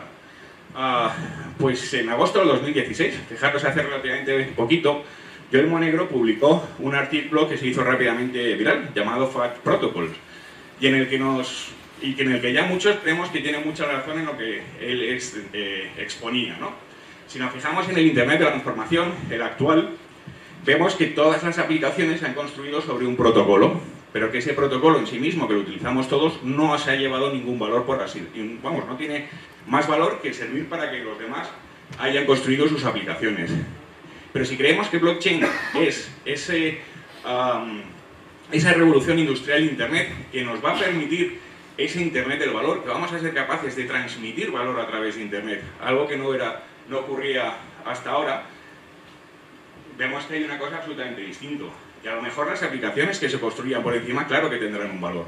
Pero realmente el valor lo va a tener las blockchains donde se vayan construyendo esas placas de aplicaciones. Y esto también es una cosa fascinante que puede suceder en el futuro. Y ya un poco para, para terminar, creo que estos días estaba el, market cap de, de, las criptomonedas en torno a los 500.000 millones de, de, dólares, algo de lo que no ha pasado ni 10 ni diez, uh, ni diez años, ¿no? O sea que yo creo que muy poca gente eh, duda de que blockchain es una nueva tecnología, que es algo que ya está ahí, que ha llegado para, para quedarse. Y son los bancos, las grandes empresas, los seguros, uh, son las administraciones públicas en los países más adelantados que también lo están utilizando, por ejemplo, para el registro de la propiedad. Qué mejor poner un registro en una blockchain que va a ser inmutable, que nadie la puede falsificar, que nadie la puede cambiar. O sea que los experimentos se están haciendo en el sector público, en el sector privado, se está metiendo dinero para investigar las posibilidades de esta tecnología. Y este es un, gráfico para que veáis un poco, ¿no? Se refiere a la adopción de la tecnología en Estados Unidos. El tiempo que tardó la electricidad, por ejemplo, en 1873, y el tiempo que tardó el 25% de la población en incorporarla en sus hogares. Pues vemos, oye, pues el teléfono, la radio, eh, el ordenador personal, el teléfono móvil y la web, ¿no? Que si bien se inventó en los años 60, no fue hasta mediados de los 90 cuando un grupo de visionarios dijeron, oye, Internet puede ser mucho más que esto, y empezaron a surgir las primeras aplicaciones, los primeros buscadores para poner un poco de coherencia en todo lo que había allí. Bueno, como vamos muy bien de tiempo, sorprendentemente, vamos a ir pasando el cubito y vamos a hacer un poquito de, de interacción entre todos, vamos a hablar un poco sobre lo que nos ha contado Íñigo, que espectacular, está muy bien entender un poquito más la tecnología, saber qué hay de trasfondo, un poquito de, historia, saber qué hay más atrás de una cifra que todos vemos, 14.000, 15.000 el Bitcoin, y no tenemos ni idea de por qué ni para qué. Pues es importante que, que gente como Íñigo nos explique un poquito el porqué de todo esto, ¿no? Encantado y además creo que de verdad que es muy importante porque para saber o entenderlo un poco tenemos que saber dónde venimos y qué es lo que hay detrás, ¿no? Y entonces es cuando va cogiendo a lo mejor otra perspectiva de lo que estamos hablando. ¿Alguien tiene alguna pregunta para Íñigo? O sea, al final, desde mi punto de vista, si esto es una blockchain, ¿cuáles son las patas fundamentales que tiene una blockchain, ¿no? Que se mantiene ese equilibrio. Es ah, que tú estableces tu mejor estrategia si eres conocedor de la estrategia de los otros dos en el sentido de que no tienes ningún incentivo para variarla, porque ya has establecido tu mejor estrategia. ¿Qué ocurre? Pues nos fijamos en una blockchain, por así decirlo, ¿cuál es el éxito o las tres patas, desde mi punto de vista, que son fundamentales? Uno es el trabajo de los desarrolladores, gente de inmenso talento que está constantemente tratando de hacer nuevas aplicaciones y desarrollar nuevas cosas y mejorar el producto, por así decirlo. Luego tienes el trabajo de los mineros, que son los que ponen al servicio de la red toda la capacidad de cómputo para fortalecer la red, por así decirlo por último, lo más importante, la comunidad de usuarios. Tú puedes tener unos desarrolladores maravillosos, una fortaleza de mineros, pero si no tienes usuarios, al final esa blockchain no va a valer nada. ¿no? Ese es un equilibrio que se mantiene en las tres partes. Y no sé si sabéis, por ejemplo, que el 1 de agosto hubo eh, una split de la cadena. Eh, hubo ya Bitcoin y Bitcoin Cash y se dividió. ¿Por qué? Pues porque básicamente había un problema de escalabilidad que todos conocíamos. Si Bitcoin quiere competir con Visa, por así decirlo, en las transacciones, Visa te hace a lo mejor 50.000 al segundo y Bitcoin entre 4 y 7 al segundo. Entonces, para que sea un modelo de pago, un medio de pago universalmente aceptado, eso tendría que mejorar. Y era una cosa que se sabía desde hace mucho tiempo. Entonces, ¿cuáles eran las dos propuestas que se proponían? Una era aumentar el tamaño de los bloques. Si cada bloque es de un mega, oye, y está congestionada la red, por así decirlo, pues vamos a hacerlo más grande. ¿no? Cuanto es el bloque es más grande, caben más transacciones. Y otra era las soluciones off-chain, no toquemos la cadena principal, sino que habilitemos, habilitemos cadenas laterales, por así decirlo, donde poder hacer esas cosas.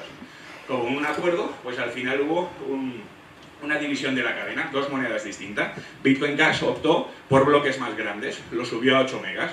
¿Cuál es la pega que te dicen, por así decirlo? Que una cosa muy importante son los usuarios, para que esté descentralizado, que todos seamos un nodo, ¿no? que podamos tener ah, esa réplica del libro mayor contable de esa base de datos en nuestro ordenador. Pues a lo mejor, oye, tú te puedes descargar en tu ordenador un mega cada 10 minutos, pero si ya son 8 megas cada 10 minutos, estás expulsando a gente a que pueda contribuir altruistamente, como hacen los nodos, a introducirlo, ¿no? Entonces esa era una de las posibilidades. Y luego había otra cosa importante desde mi punto de vista. Ah, los desarrolladores se habían hecho, pues, Segwit, quien se implementó el 1 de agosto, eh, otras ideas, Lending Networks, que es habilitar cadenas laterales para fomentar los micropagos, pero ya estaban puestos, código libre, software libre, y otras monedas lo implementaron antes de Bitcoin. ¿Sabes? Como lo tienes ahí, dices, oye, esto es maravilloso, si entre ellos no se ponen de acuerdo, no pasa nada, lo hacemos nosotros en nuestras monedas y las mejoramos. Y entonces, claro, los mineros ¿por qué cobran? Por la recompensa del bloque y por las comisiones de las transacciones. Desde un punto de vista egoísta, los mineros, si hay muchas transacciones, si están saturados los bloques, si las comisiones son muy altas, ellos ganan más, ¿no? Bueno, pues ¿qué ocurre en ese equilibrio? Que si la comunidad de usuarios en un momento dado, pues ya se cansa, por así decirlo, y dice, oye, mira, eh, tenemos implementaciones muy buenas de los desarrolladores, no las queréis hacer porque no hay acuerdo, de que tenéis eh, un pool minero en concreto, ver las comisiones y estáis perjudicando al conjunto de la red. Es decir, que de la noche al día se podría dar la circunstancia de que los mineros, los grandes mineros, que han invertido miles y miles y miles de millones de dólares en sus granjas mineras para captar Bitcoin, pues que eso a lo mejor no valiera nada, si ya te expulsan de la red, por así decirlo. Sería un caso extremo. ¿Sabes lo que te quiero decir? Pero ¿qué ocurre ante eso? Pues das un paso atrás, ¿no? Dices, y ese es un poco el equilibrio eh, que es a veces la, la, gran fortaleza y al mismo tiempo pues la mayor debilidad, por así decirlo. Las cosas van evolucionando, seguro que Satoshi en, un, en un principio no esperaba todo lo que ha pasado, eh, como por ejemplo los pools no estaban pensados en un primer momento, Completamente de acuerdo. ha habido una evolución constante, ¿no?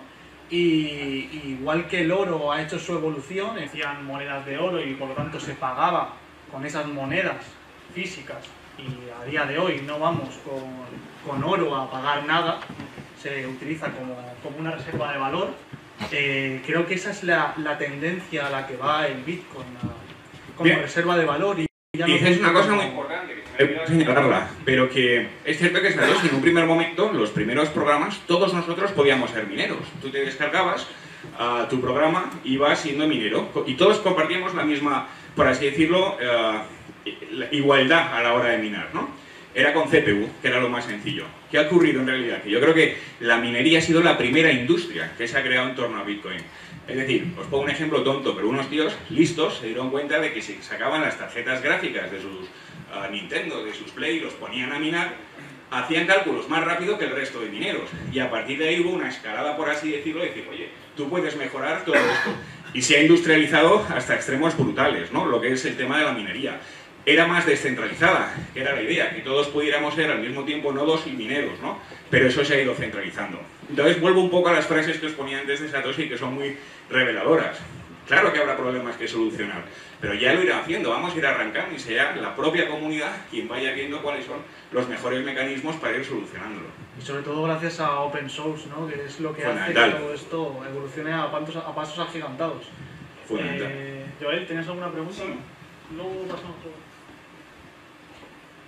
Lo primero, Íñigo, darte enhorabuena porque ha sido una exposición apasionante y he ido a muchas. ¿eh? La verdad es que, no sé, muy educativa. Hemos hablado del pasado y bueno, creo que estamos en un momento muy bueno para hablar también del futuro. Y es que ahora se están empezando a implementar mucha tecnología que antes hemos visto en otras blockchain como Ethereum con los contratos inteligentes y eh, empiezan a aparecer las posibilidades de un montón de sidechains con eh, Lightning Network y demás. Entonces, ¿tú hacia dónde crees que va el futuro de blockchain? Es decir, hacia una red única y muy muy fuerte. ¿Hay realmente espacio para blockchains diferentes, pero teniendo en cuenta que Bitcoin se puede mejorar tanto y darle diferentes eh, posibilidades? ¿Crees que el futuro dentro de 200 años habrá una blockchain o habrá muchas blockchains? Una pregunta fantástica. Yo si me apuras un poco también cuando tú construyes una blockchain, tienes que tener muy claro cuál es el sentido de hacerlo, ¿no? A veces te dicen, oye, yo quiero hacer una, una blockchain de mi empresa porque para meter cosas importantísimas ahí, ¿qué tal? Entonces le dices, joder, ¿y cuántos nodos sois? "Oh, pues tres nodos y, joder, y si se te quema el edificio, quemas los tres nodos, o sea, todo lo importante que has metido. Entonces a lo mejor dices, ahí te puede ser mucho más interesante. Si realmente es importante, utiliza otra blockchain pública. Mete esa información ahí que sí que va a ser inmutable, ¿sabes? O sea, bueno, pero la otra razón puede ser, oye, pero y si toda la comunidad de repente se va, pasaría un poco lo mismo, ¿sabes? O sea, que, que hay que tener un poco, entender muy bien cómo funciona y ver cuál es la aplicación correcta. Yo sí que creo que pueden existir y en el futuro convivirán blockchains públicas con blockchains privadas y que incluso eh, podrán hasta relacionarse entre ellas, ¿no? Decías una cosa que es muy interesante, ¿no? Hablabas de RSK, que se presentó hace poquito en, en Colombia, que es la posibilidad ahora que sobre la red de Bitcoin también se puedan ejecutar en el futuro contratos inteligentes. Entonces, por eso os decía antes, ¿no? En el pequeño guion que os establecía, ¿qué es Bitcoin? ¿Era un medio de pago? Empezó así, indudablemente. Pero hoy por hoy ya está superado. Hoy por hoy el problema de la congestión es que para pagar 3 euros, a lo mejor te piden 11 de comisión. Ya no es un medio de pago, evidentemente. Eh, pero puede serlo. Si Lightning Network, esas posibilidades, esos canales ah, on, off-chain, por de fuera de la cadena, consigues hacer micropagos y muy baratos, puede volver a, a eso. Lo interesante es que hay gente con mucho talento que está pensando esas posibilidades. ¿Es una reserva de valor hoy? Pues puede serlo. O sea, en los países con una inflación altísima se está utilizando como reserva de valor. Y os decía, o puede ser otra cosa. Es que a lo mejor puede ser también ese protocolo futuro que os decía de un Internet, donde las futuras aplicaciones que se vayan construyendo puedan ser construidas sobre, eh, sobre Bitcoin. Yo creo que os decía también antes que, es fascinante, ¿no? contemporáneo a todo esto, ¿no? y que lo estamos viendo al principio y que no hemos alcanzado esa masa crítica, por así decirlo, ¿no? y que esto acabará estallando. ¿no? Y, tendremos muchas aplicaciones y cuando surjan las primeras aplicaciones vendrá más gente y habrá más, más interés por, por todo esto. Y, y, es el momento de imaginar, de ver las posibilidades que tenemos y, y ver muy bien lo que se están haciendo unos y otros y al final formarnos nosotros nuestra propia opinión. Bueno, es súper importante en cualquier blockchain la seguridad, como ya sabes. Entonces, eh, para eso se necesitan muchos nodos y cuanto más nodos, mayor seguridad, mayor confirmación, etc. Y por eso Ethereum es este, este punto de inflexión, ¿no? en, en, que todos estemos aquí también gracias a, a la creación de, de, Ethereum, ¿no? que ha podido hacer que muchos proyectos no necesiten su propia blockchain, sino que se basen en la, eh, en la Ethereum y se apoyen en todos esos nodos para, para poder crear sus aplicaciones. Y en cuanto a lo que, en cuanto a lo que comentabas de, de, las blockchains, ya se está haciendo, por ejemplo, eh, Ion sirve para conectar blockchain, para que puedas eh, relacionarte entre, entre blockchain. Yo creo que empezaremos a ver más y más. Porque eso es un gran problema, ¿no? Que quieras pasar de... de eso, además, fíjate qué curioso, porque la idea original de Vitalik Buterin los Atomic Swap, ¿no? Pero la idea original de Vitalik Buterin, el fundador de, Ethereum, por la cabeza visible, era hacerlo sobre, sobre Bitcoin, ¿no? Porque, eh, pero no se pusieron de acuerdo, los desarrolladores no, lo veían, ¿no? Entonces él sí que utilizó un Turing completo, que es un lenguaje uh, informático, por así decirlo, que te habilita hacer más cosas. Pero en Bitcoin no lo vieron por el momento, y Bitcoin se diseñó precisamente para no tenerlo, ¿no? Para tener más seguridad y que fueran inputs y, y outputs. Y lo fascinante de esto es que hay diferentes caminos para llegar a un mismo destino. Bitcoin ahora va a habilitar los contratos inteligentes, pero no sobre la propia cadena, sino sobre cadenas laterales, ¿no? A diferencia de lo que hacen los... Bueno, pues es maravilloso que cada uno ponga su ingenio en unas soluciones u otras, ¿no? Y al final somos todos nosotros los que nos beneficiaremos de la que haya logrado un mayor uh, sentido, por así decirlo. ¿Qué paso a decir que, que prefieres una única red fuerte con múltiples aplicaciones o diferentes y, como hemos dicho antes, eh, débiles ante los ataques, porque al fin y al cabo, si hay muchas blockchains, eso debilita a una red grande. Lo que habrá para, a lo mejor tiene mucho sentido que para un caso muy concreto exista una blockchain muy concreta, y a lo mejor puede ser privada, privada en el sentido de que cinco empresas o corporaciones digan, oye, esta es nuestra blockchain privada que optimiza muchos de nuestros eh, procedimientos actuales y es privada, nadie lo va a poder ver, solo no vas a participar ni vas a ver las transacciones, solo para los que estamos dentro. Pues maravilloso, existirán también, ¿sabes? O sea, no tengo duda. Y luego en lo otro de que existan varias o no, pues es un poco también uh, la fortaleza, que exista una enorme, por así decirlo, pero la debilidad es que si de la noche al día no hay alternativas a esa, ¿sabes lo que digo? ¿Qué pasa? Entonces, bueno, no lo sé. Es fascinante. Yo no tengo una idea o un concepto muy definido al respecto, ¿no? Pero yo sí que creo que convivirán en el futuro y se relacionarán también entre ellas. Y, y, y, joder, porque el único límite de esto es imaginarlo, ¿no? Ya cuando lo imaginas, la gente con talento es capaz de materializarlo. Vamos a dar paso a Miguel. ¿Dónde está? Miguel. Yo quería preguntarte dos cosas. Una, las, una, pincelada ahora eh, sobre cuál crees que es la, el posicionamiento de las grandes empresas, porque hablas de desarrolladores, las grandes empresas tienen mucho dinero y muchos desarrolladores, ¿no? Eh, yo he sido muy activo que está haciendo IBM, que está haciendo otras empresas, a ver cuál es tu opinión. Y luego ahora está, eh, evidentemente ahora el, Bitcoin está ahora en, un momento brutal, se habla mucho, pero también se está empezando a hablar eh, de, que puede haber el efecto tulipán, burbuja tulipán.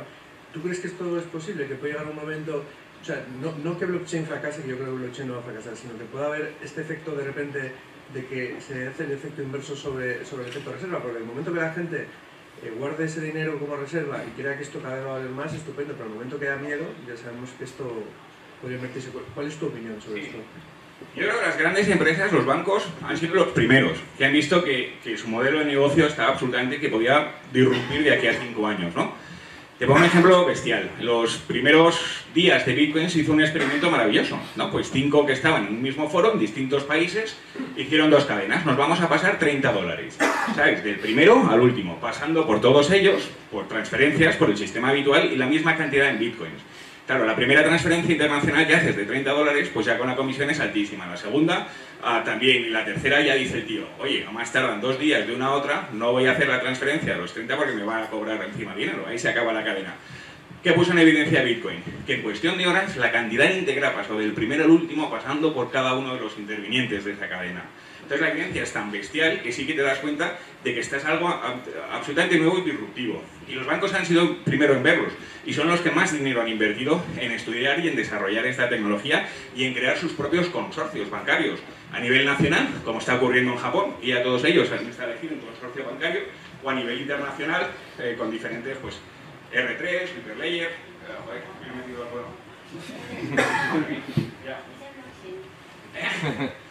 y, y, lo otro, lo que decías tú, es verdad que estamos, claro, cuando hablamos de burbuja es complicado, ¿no? Yo creo que nadie tiene la respuesta ni la certeza, porque esto es tan nuevo que creo honestamente que no tenemos con qué compararlo, ¿no?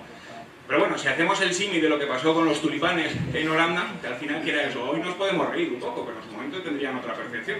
Pero claro, es un bulbo, ¿sabes? Eh, eh, no es perdurable, o sea, que es para que sea bonito, pero bueno, si llegan unas cosas disparatadas. Bitcoin al final tiene algunas características que son muy importantes desde mi punto de vista.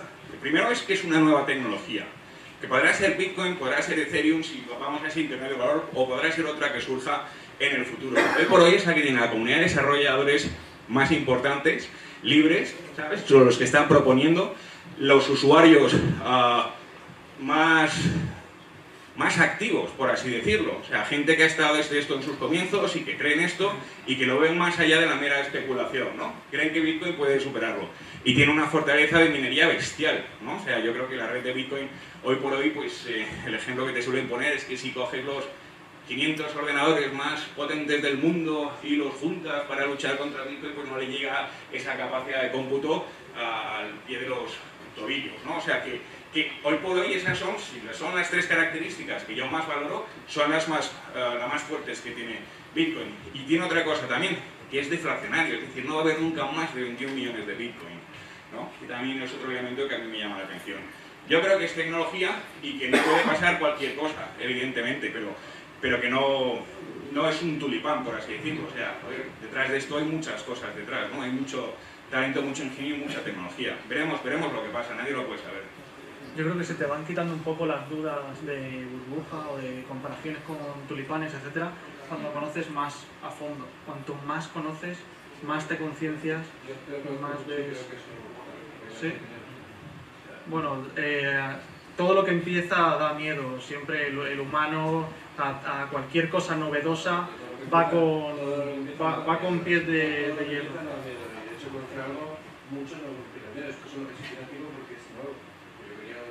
Sí, o sea... No, o sea, aquí aprendemos todos Si mañana se descubre un bug en Bitcoin, te va a cero, ¿sabes lo que quiero decir? O sea, claro, indudablemente, pero ya lleva nueve años demostrando esa fortaleza.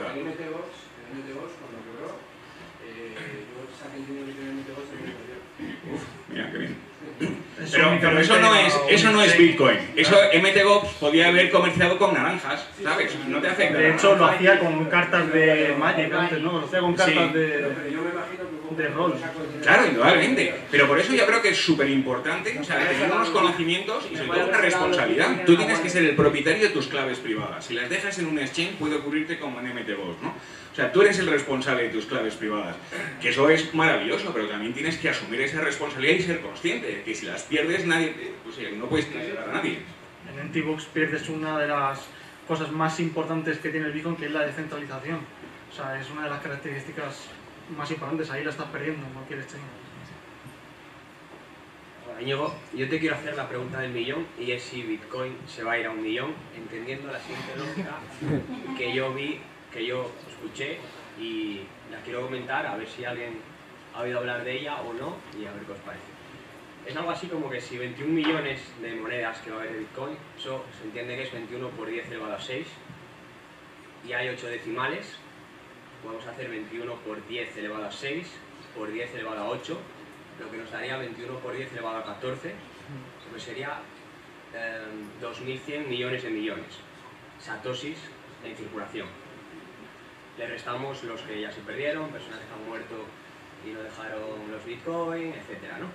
Entonces, al haber 2.100 millones de millones de satosis en circulación, puede ser que el satoshi tenga un precio similar al que hoy en día tiene el céntimo de euro, el centavo de dólar, y Bitcoin se pueda utilizar para, digamos, eh, ser intercambiable, enviarnos 3 euros y no pagar 11 de comisión.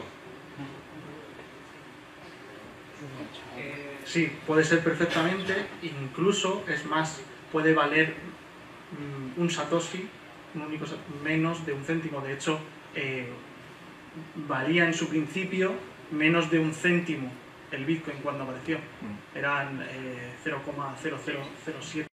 Yo creo que para que Bitcoin vaya adquiriendo valor, lo que necesita son propuestas. O sea, a mí me daría miedo, te quiero decir, una desilusión, es que si los problemas de escalabilidad, por así decirlo, no se hubieran solucionado. Es que, a, ver, la palabra salario viene de, sal. ¿no? Antiguamente se cobraba con, con, sal, en bolsas o no sé, no, no sé cómo lo hacían, pero con sal. Entonces, cuando de repente se empezaron a utilizar las monedas de cobre, diferentes aleaciones, diferentes metales, era como, wow, ya no estamos utilizando la sal para intercambiar los productos o intercambiar tiempo por dinero en trabajos. Fue un cambio radical. Entonces, la pregunta es, ese cambio radical lo podemos ver ahora, ver que el dinero fiat desaparece y ese dinero en monedas de cobre entraron en el sistema, eliminaron a la sal. Entonces, si todo el dinero fiat ahora entra en criptomonedas, y si entra en criptomonedas, en principio va a entrar primero en Bitcoin por ser la reina, aunque luego llueva, caiga en otras criptomonedas, puede ser posible que toda la deuda, porque el dinero fiat es deuda, conforme se vaya pasando hacia este nuevo ecosistema, ¿vale? los 500, eh, no sé la cifra que existe antes de... 500.000 millones está en torno ahora el market cap de las criptomonedas. Pues conforme esa cifra aumente, entiendo que el dinero fiat disminuye. Entonces puede ser que al igual que desapareció la sal, desaparezcan las monedas hoy en día. Bueno, por eso te digo que lo maravilloso de esto es imaginar cosas, ¿sabes? Y esa es una tal. Yo también tienes que tener en cuenta desde mi punto de vista el poder de los estados, ¿sabes? En el sentido de que un estado que tiene el, el señoreaje de hacer dinero, ¿sabes? No sé yo con buenos ojos dirá, oye, ¿qué es esto que no está centralizado, que no lo puedo, uh, ¿sabes? Meter yo mano. Y hoy por hoy el Banco Central Europeo creo que está con sus políticas monetarias está emitiendo en torno a los 30.000 millones de euros todos los meses, ¿no? Eh, pues, eh, ¿tú crees que un Estado puede permitir eso en el sentido? Bueno, no lo sé. Oye, mira, podría ser, podría ser maravilloso un futuro en ese sentido, o ver las posibilidades, ¿no? Pero, uh, no lo sé. Yo creo que es que estamos en un estado súper embrionario, que por eso os decía antes que esto es fascinante porque somos contemporáneos a todo esto. Y a lo mejor en 5 o 6 años empezamos a ver los primeros modelos de y empezamos a ver, oye, que esto tiene sentido aplicarlo aquí y allá. Y lo vamos viendo, ¿no? Pero por eso os digo que, creo que es, que es un momento maravilloso estar aquí y verlo un poco desde el principio. Cómo va creciendo esto y las posibilidades futuras que, tiene. Además, a lo largo de la historia, todas las monedas fiat que han existido, eh, por culpa de la inflación, han acabado valiendo cero. Todas. Sin excepción. Eh, bueno, yo creo que una pregunta más, la última, ¿vale? La última, a ver si llego hasta allí. Ahí va. ¿Tú crees que en algún momento las comisiones o alguien saldrá para que esas comisiones bajen y pueda haber eh, un mercado, es decir, que puedas comprar pues, un ordenador o cualquier, cualquier bien, eh, de forma que el Bitcoin sí se establezca? También hay que, hay que pensar que todo el dinero que tenemos todos aquí ahora mismo es virtual. Nadie tiene físicamente su dinero, es decir, tenemos un plástico, digamos, lo pasamos por una banda y eso nos da pues una unidad de poder de compra. Entonces, yo creo que, Bitcoin llega, como ha dicho eh, nuestro compañero, la sal va a ser sustituida por el cobre y yo creo que eh, la moneda virtual pues va a sustituir a la moneda física. De hecho, había informes y cosas que los gobiernos quieren hacer eso, es decir, quieren tener, quieren tener una moneda virtual, porque el emitir moneda lleva un, coste. Entonces... Claro, pero ahí te pongo, o sea, los gobiernos hay ideas para hacerlo, ¿no? Pero Es decir, si tú eres usuario de Bitcoin, conoces cómo funciona, que es descentralizado, que depende de todos, que la emisión es limitada y el gobierno te dice, no, vamos a hacer una criptomoneda que suena igual de chulo, pero yo voy a emitir los tokens que va a estar centralizada, ¿sabes? Y además lo voy a rastrear yo para saber exactamente cómo te llamas y demás. Pues lo podrán llamar blockchain guay, pero no es blockchain, ¿sabes lo que quiero decir? Sí, sí, sí. Claro, entonces yo creo que también la base de esto está un poco en la comunidad, en que cada uno de nosotros vayamos aprendiendo también y vayamos viendo y comparando, ¿no? Te decía antes un poco el, ejemplo que te... Yo no soy economista, mi formación es de letras 100%, joder, pero que el Banco Central Europeo o las políticas que se han derivado de, de las quality easing esté imprimiendo todos los meses 30.000 millones de euros, yo, sin ser economista, sé que eso es, que significa que mis euros en el banco valen menos, ¿sabes? Entonces, por eso te quiero que también esto es fascinante porque nos abre otra perspectiva, de poder aprender nosotros, ¿no? Y de ver, y que al final la fortaleza de este tipo de cosas estará en la comunidad que lo sustente.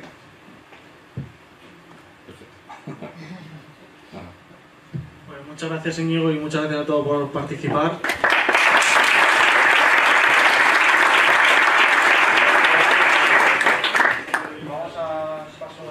Félix, uno de los socios de para finalizar el evento de una que nos ha Bueno, primero darle las gracias a los ponentes que tenemos aquí, que lo habéis hecho espectacular. La verdad es que te iba a hacer un montón de preguntas y cada vez que te iba a hacer una pregunta respondías. Y yo decía, joder, al final no voy a tener protagonismo, voy a tener que salir al escenario a hablar. Eh, bueno, muchas gracias a todos por venir. Eh, ya este es el evento, el final del evento. No me voy a extender demasiado. El objetivo era que vierais eh, un poco también tomando de base lo que está explicando Íñigo respecto al funcionamiento de la blockchain, de, bueno, todas las bondades que tiene, todo lo que se espera para el futuro, bueno, toda, toda la, utilidad, ¿no? Eh, ver cómo se aplica eso a la empresa real y al, y al mundo real, ¿no? Veréis que los que seáis repetidores... Dime. Ah, vale. ¿Este? Vale, gracias, tío. Vale, entonces, los que seáis repetidores veréis que, que, bueno, somos un poco insistentes en, en el mundo del lending, que es un ecosistema que nos parece fascinante en ese aspecto, eh, y que cada empresa, fijaros cómo puede ser que utilizando la blockchain puedas poner eh, distintas partes alrededor del mundo en contacto para obtener préstamos, pues por ejemplo los latinoamericanos aparte de que tienen el problema en Sudamérica de, de, que no les conceden nada porque al final no les abren ni cuenta bancaria eh, y que los préstamos los tienen al 60 o 70% y no, esto no es coña, eh, son, allí la usura es algo bastante habitual, pues se encuentran con, con países que, que, bueno, que están en el otro lado del mundo que el concepto de endeudamiento eh, pues no está tan arraigado y que la gente pues, le tiene miedo a eso y sale pues unos préstamos al 2 o al 1%. Entonces, pues poner en, en, contacto esas partes pues haría que se armonizara todo esto. ¿no? Es curioso eh, cómo, una empresa como Fintrux hasta ahora, todas las empresas que hemos estado presentando, eh, pues todas presentaban un modelo sobre smart contract, de, sobre el blockchain de Ethereum, donde el smart contract pues, eh, garantizaba que el préstamo eh, se llevaba a cabo, te generaba una garantía y, bueno, pues todos tenían como ese, ese problema ¿no? de, decir, joder, pero a mí quién me asegura que me van a pagar, qué garantía le vas a coger, esa persona realmente esa persona realmente no tiene recursos desde un inicio, dime tú cómo, cómo voy a, o sea, decir, cómo, cómo, cómo, va a funcionar esto. ¿no?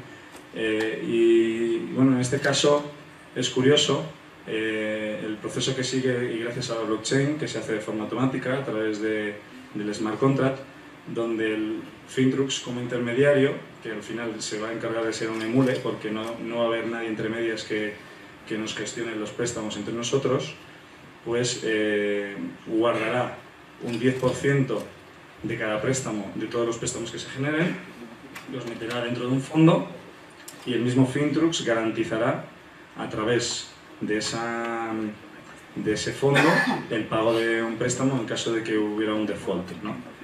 Vale, hasta ahora no hay nada sorprendente, ¿no? O yo recojo un 10% y tal. Lo sorprendente está en, en, algo bastante curioso que seguramente muchos de nosotros nos estaremos perdiendo, que es eh, que a día de hoy las grandes empresas que tienen mucha liquidez, de hecho todos sabemos quién es Google, sabemos quién es Facebook, Amazon, ¿no?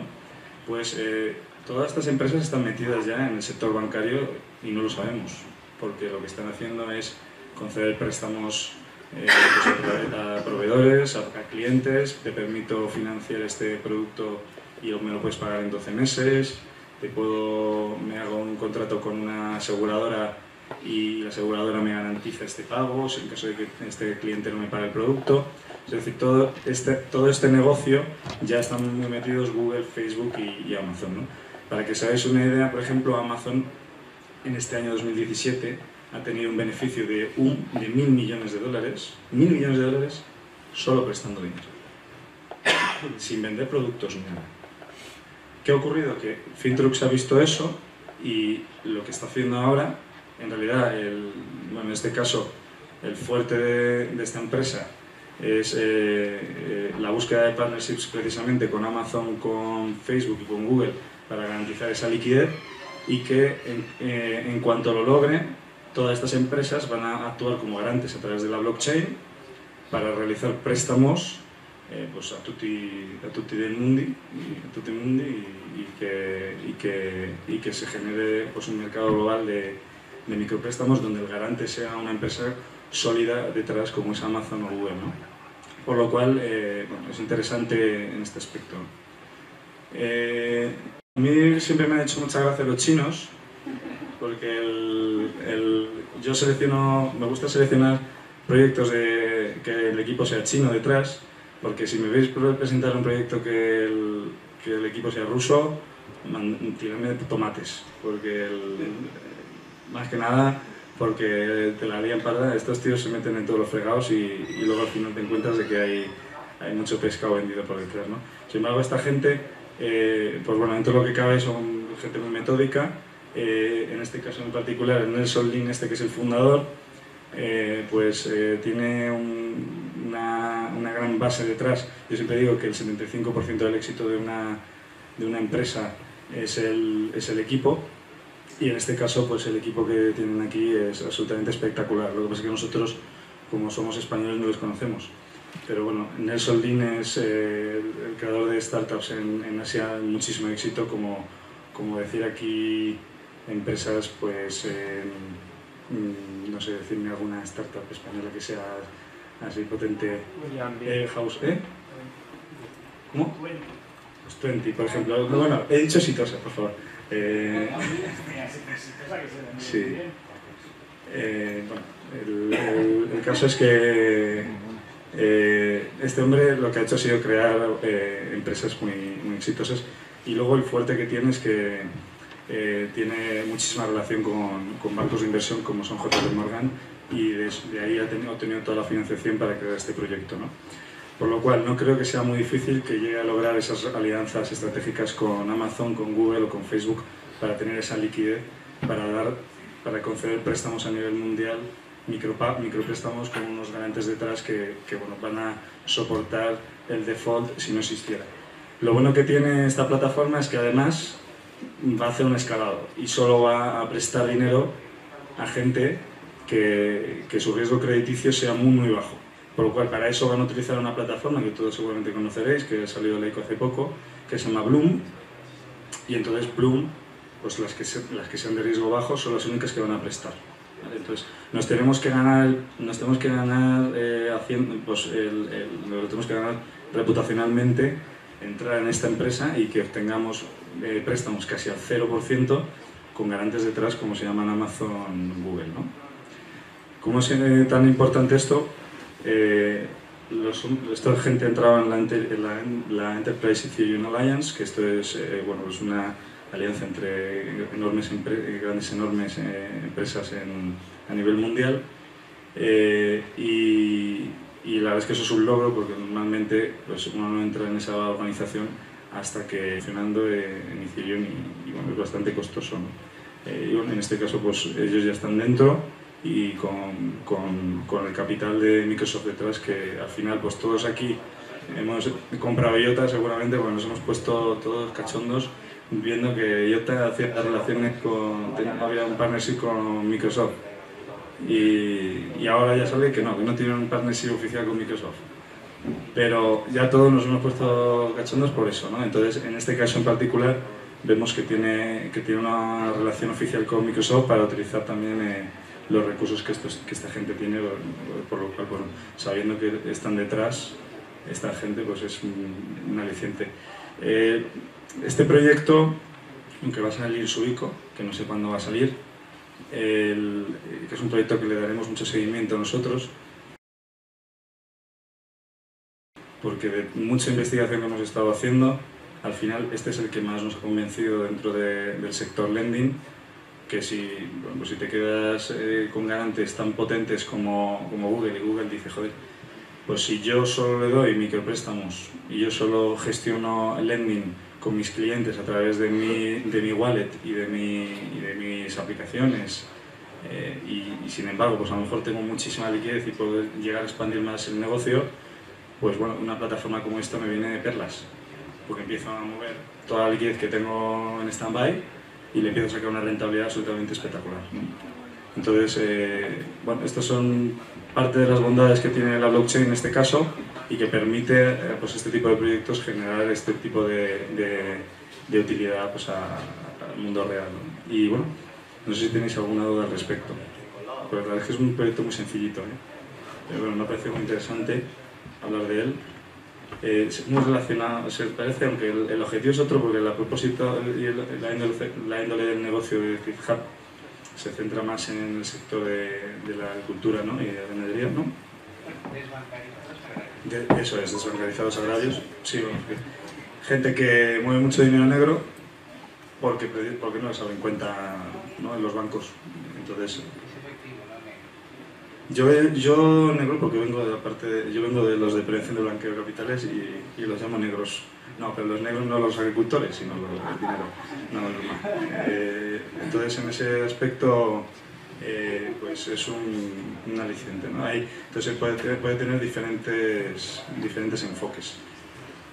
Sin más, ¿alguna duda en especial que tengáis? O nos tomamos un café.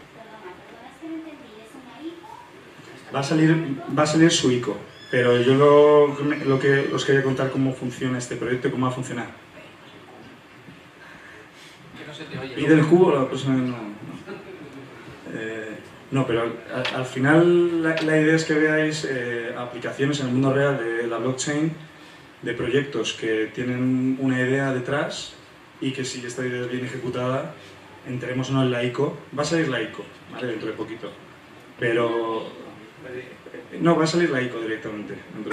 Pero da lo mismo, o sea, si, si, si la compramos en el mercado secundario cuando esté cotizando y la mantenemos a largo plazo y creemos que es una empresa solvente, al final, pues, oye, dentro de lo que cabe, es, me parece una tontería a lo mejor mantener esos tokens que has comprado. Pero claro, eso siempre y cuando vaya cumpliendo con, con la hoja de ruta que tiene.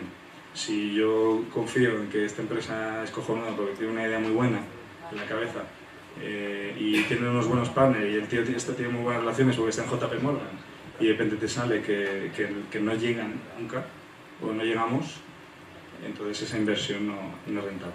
¿vale? Las ICO se deben enfocar como una inversión a corto plazo, desde mi punto de vista, eh, una parte del capital que se invierte, la otra se puede enfocar a largo plazo. Pero luego los proyectos en sí estos, salvo que tengan mucho dinero, mucha confianza y te guste mucho diversificar, eh, pues yo siempre veo que lo ideal a veces es comprar en el mercado secundario y ya está. Que, por eso tener revalorizaciones muy interesantes. De hecho, estamos todos aquí muy engañados, ¿no? Porque todos pensáis que, que ahora, ya, ahora ya en cuanto dejemos de ganar, esto es una mierda. Entonces ya dentro de dos años, pues joder, volveremos, estamos en de la dorada de, las criptomonedas. 2018 será mucho mejor año. 2019 entrará el público en general.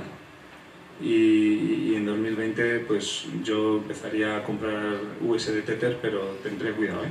lo metería en una cold wallet, no vaya a ser que nos hackeen. Y, y bueno, eh, poco más. Si nadie tiene dudas al respecto, pues pasamos a tomarnos una cerveza, una Coca-Cola. Espera, espera, que antes vamos a hacer... Ah, bueno.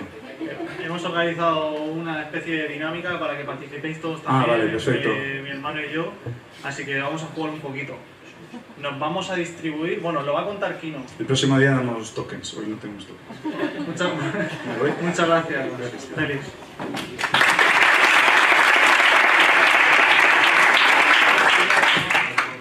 Te la has jugado, ¿eh? Buenas. Yo soy Kino, el que no ha hablado en todo el día. Eh, hemos preparado para el final una, una dinámica. Vamos a, vamos a hacer un debate. Entonces, os voy a pedir, no ahora cuando lo explique, sino cuando termine de explicarlo, para que no se levante ninguno aún. Vamos a coger todos nuestra silla. Si se queda alguna por el medio y hay alguien muy generoso y la coge y nos ayuda, nos ponemos todos en círculo, ¿vale? Pero antes vamos a separarnos por grupos, ¿vale? Vamos a hacer cuatro grupos. Van a estar los inversores por un lado, es decir, gente que utiliza la tecnología blockchain para invertir, gente capitalista. Por otro lado, van a estar desarrolladores. Desarrolladores que, por ejemplo, los creadores de ICOs o gente que utiliza la tecnología blockchain y se apoya en ella. Para ellos es un soporte, ¿vale? Por otro lado van a estar eh, usuarios que simplemente utilizan la tecnología, pueden ser partícipes de esas aplicaciones que se crean en blockchain. Y por otro lado, la gente que no sabe lo que es blockchain y está aquí para conocerla. ¿Vale? Entonces, mientras os levantáis y ponéis las sillas en círculo, vais pensando en qué grupo queréis estar y os quedáis todos de pie en el centro, ¿no? Venga.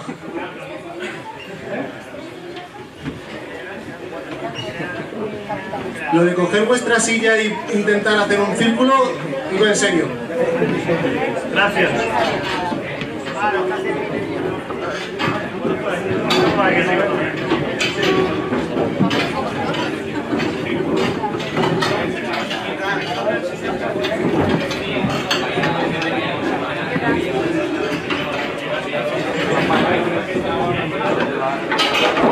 No sentéis. Poneros todos, si podéis, quedaros de pie, mejor.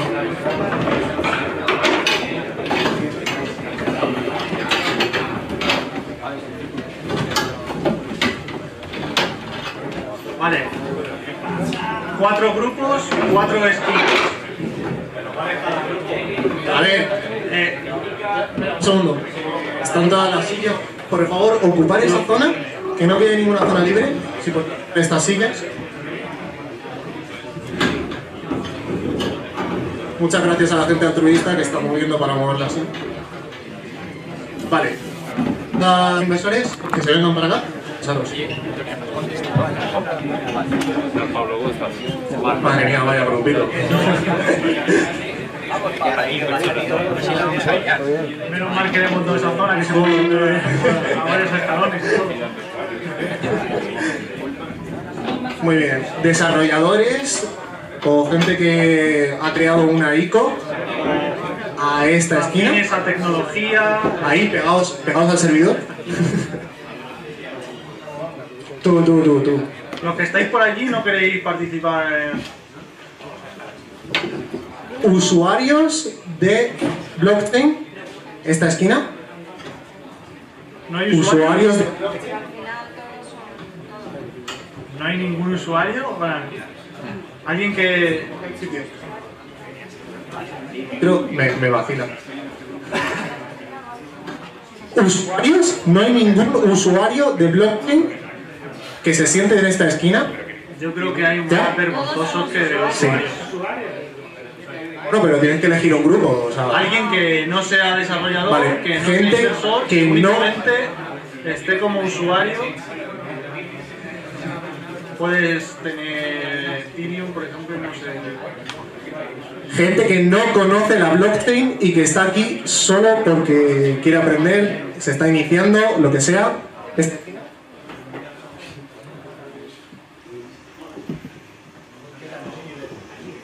Vale, parece que se están juntando inversores con. Los de pie por ahí, ¿qué son?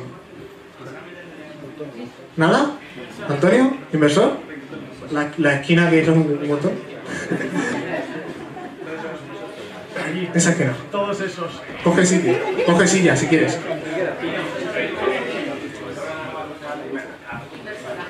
Inversor, bueno, como no hay. Tiene las cuatro opciones. Las, Tú, usuario. Las recuerdo, usuarios, desarrolladores, inversores y que están empezando o que no conocen del todo. Aquí desarrolladores, tú para allá. Jesús, tú para allá. Usuarios. Bueno, puede ser lo que quieras. Pero desarrollador no eres. Usu- usuario es esa esquina. Perfecto.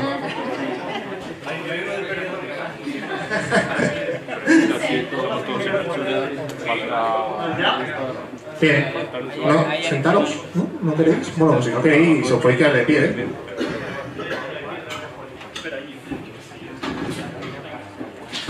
Vale, ahora es cuando a todos os entra la vergüenza porque tenéis que participar. Em, voy a lanzar una pregunta, ¿vale? Vamos a tener 10 minutos. Sí, sí, ¿podéis apagar el proyector? Sería genial. Vamos a lanzar una pregunta y vamos a, pasar el micro por los distintos grupos. Bueno, vamos a dejar primero un poco de tiempo. Es que este grupo me ha roto todo, pero bueno. El tema es que si los grupos no fueran tan grandes, se podría debatir dentro del grupo y luego exponer una respuesta a la pregunta, ¿vale? En la zona de inversores yo creo que vamos a hacer dos grupos, si nos importa. Lanzo una pregunta, dejamos unos dos, tres minutos para que debatáis dentro del grupo una respuesta, algo desarrollada, y luego damos paso a, que cada grupo con un representante exponga y luego empezamos el debate, ¿de acuerdo?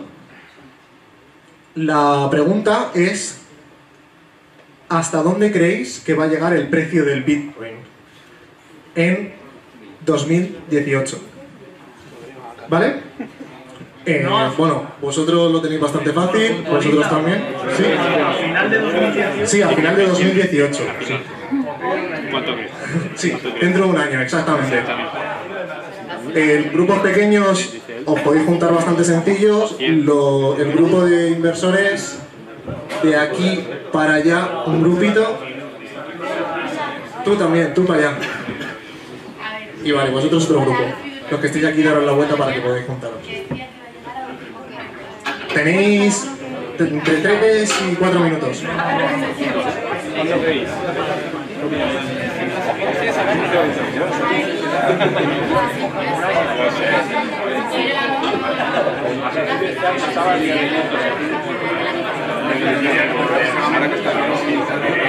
200%.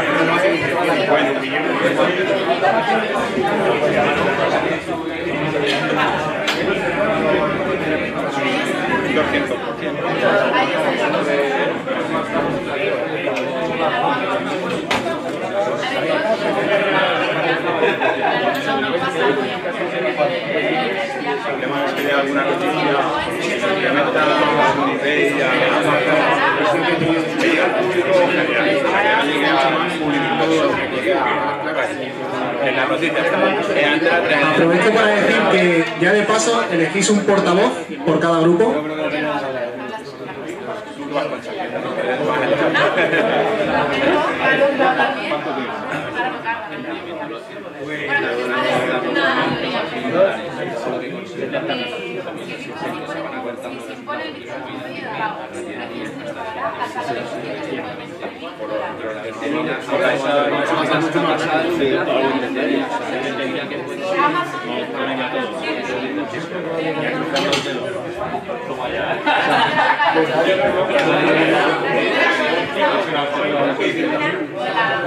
Pero te has de la pregunta que hecho.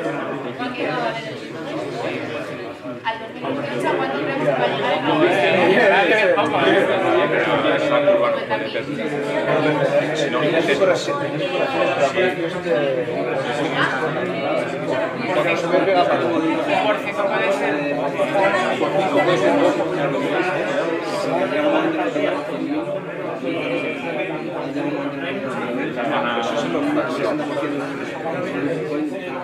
cuenta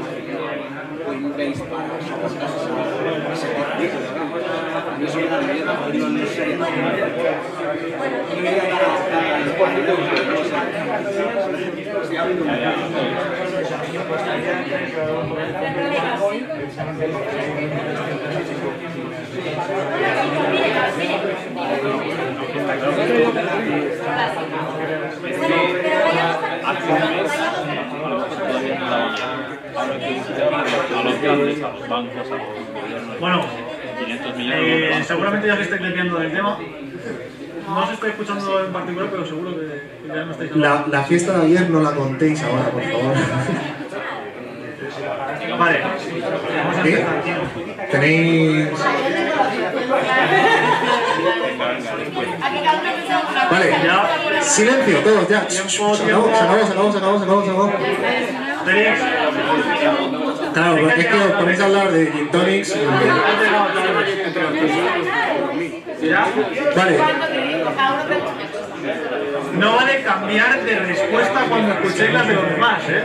Eso es copiar en el examen, eso no vale. ¿Ya? Esa esquina sí.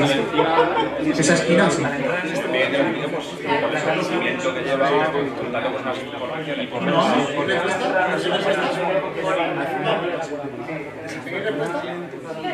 ¿Sí? ¿Sí? ¿Sí? ¿Sí? ¿Respuesta? Vale, vamos a empezar por los inexpertos. El portavoz. Vale, silencio, por favor. Eh, Hola. escuchad. Sí, ponte de pie si puedes. Me siento yo así, con la protagonista. Pues como somos inexpertos no tenemos ni idea. Lo estaba hablando yo antes con ellos y le vamos a hacer caso a McAfee, que, va a decir, que dice que se va a disparar hasta un millón, ¿no? En un par de años o por ahí. Que se corta el tenis y se lo come. La, la, la pregunta es... En, en un año, en un año. En un año, entonces vamos a decir 36.213. Toma, vale. Ha quedado- ¿Os habéis quedado, no? 36.200... ¿cuánto? 13 euros. Vale. Vosotros vais a ser el grupo de inversores A. Vale, eh, portavoz. Portavoz, sí, ponte de pie, por Pues estábamos diciendo que rondaría entre los 100.000 y los 200.000, así que hemos llegado que a los 150.000. 150.000. Es interesante, eh, eh, sí, es interesante eh, ver cómo un grupo piensa 36.000 y otro y otro eh, 100 150.000. O sea, es una burrada, son casi cinco veces más. Por, ¿Por qué? Por el nivel de crecimiento que está teniendo en este tiempo. O sea, si nos ponemos a mirar desde el 2009 hasta ahora, eh, est- estos últimos meses o este último año ha tenido un crecimiento muchísimo mayor que en los periodos anteriores. Entonces, si calculamos el periodo de tiempo que queda, pues aproximadamente. ¿Se puede saber la fórmula que habéis usado? Sí, es una, o sea, fórmula aproximada de... Sí, Félix. Si hablas te pones de pie. Venga, me pongo de pie. La- si nos queda, si McAfee dice que, vamos a tener un millón de euros, o sea, un Bitcoin, un millón de euros, eh, y la proyección algorítmica que está viendo es un por 5 siempre, o sea, es decir, siempre está incrementándose, eh, en- eh, pues si ponemos que ahora vale 20.000 dólares por hacer un precio estándar, eh, pues si multiplico por 5 en un año son 100.000. Eh, si, si multiplico por 5 en dos años son 500.000. eh, son 500.000 y bueno, dentro, dentro de no sé cuánto tiempo pues ya serán 2.500.000. Puede ser a lo mejor una barbaridad, ¿no? Pero más o menos, sí. No, él tenía una razón quizás. Entre 100.000 y 200.000 lo bajamos un poquito a... O sea, la, la fórmula es multiplicar por 5, ¿no? Sí, básicamente. Genial. Que le den por culo desarrollo. Inversores B. Inversores B. A ver, nosotros también misma fórmula por 5, de 15.000 a 75.000 euros.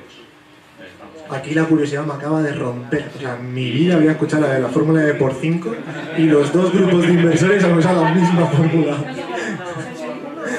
Sí. Eh, fórmula alternativa. Bueno, no lo hemos debatido, pero es una fórmula que hemos intentado, ¿sabes? Sí, sí, somos libres, aquí somos libres. Pero bueno, Eh, ustedes saben que el Bitcoin se basa en la usabilidad, en la comunidad, y la comunidad es el que pone el precio de Bitcoins. Entonces, yo siento, pienso, como, como ve el Bitcoin, según las estadísticas, si desde 2009 al 2017, hasta agosto del 2017, su precio se estandarizó en 3.000, y nada más de, de agosto de, de, este año a diciembre, de, a diciembre, a 4 o 5 meses, el precio ha escalado inmensamente en 16.700 y ha llegado hasta 19. Entonces, ¿qué podemos esperar? Estamos hablando de dólares, por lo que se hayan perdido. Sí, perdona, en dólares, ¿vale? Entonces, ¿qué podemos esperar para un 2018? Impresionante. Entonces, yo me sumo a la idea de que pasa los 100 mil dólares. ¿Por qué? Porque cada día es que yo siento que es apenas que comienza el boom de, la, de esta tecnología, es el comienzo de esta tecnología blockchain. Entonces, versiones de todas esas compañías que se van sumando a esta tecnología, al desarrollo de las apps, al desarrollo de las ICOs, al desarrollo de todo lo que se va sumando, eh, pues esto se va, esto se va adicionando que, que cada comunidad que se adiciona a la tecnología blockchain suma mucho el precio de las criptomonedas. ¿Por qué? Porque la usabilidad, la comunidad, es lo que determina el precio del Bitcoin. Entonces, para mí, sobrepasa los 100.000. Como, como estadística, como estadística que se va sumando, bueno, mes a mes. Es impresionante. 100.000 precio final. Eh, por favor, Marco, ¿qué eh, precio? No has dicho precio, has dicho que ha multiplicado por 75.000 euros. 75.000.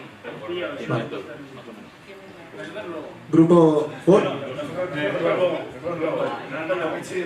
Pero a ver, si, si, da igual lo que digáis, esto, esto no es blockchain, o sea, esto es una dictadura.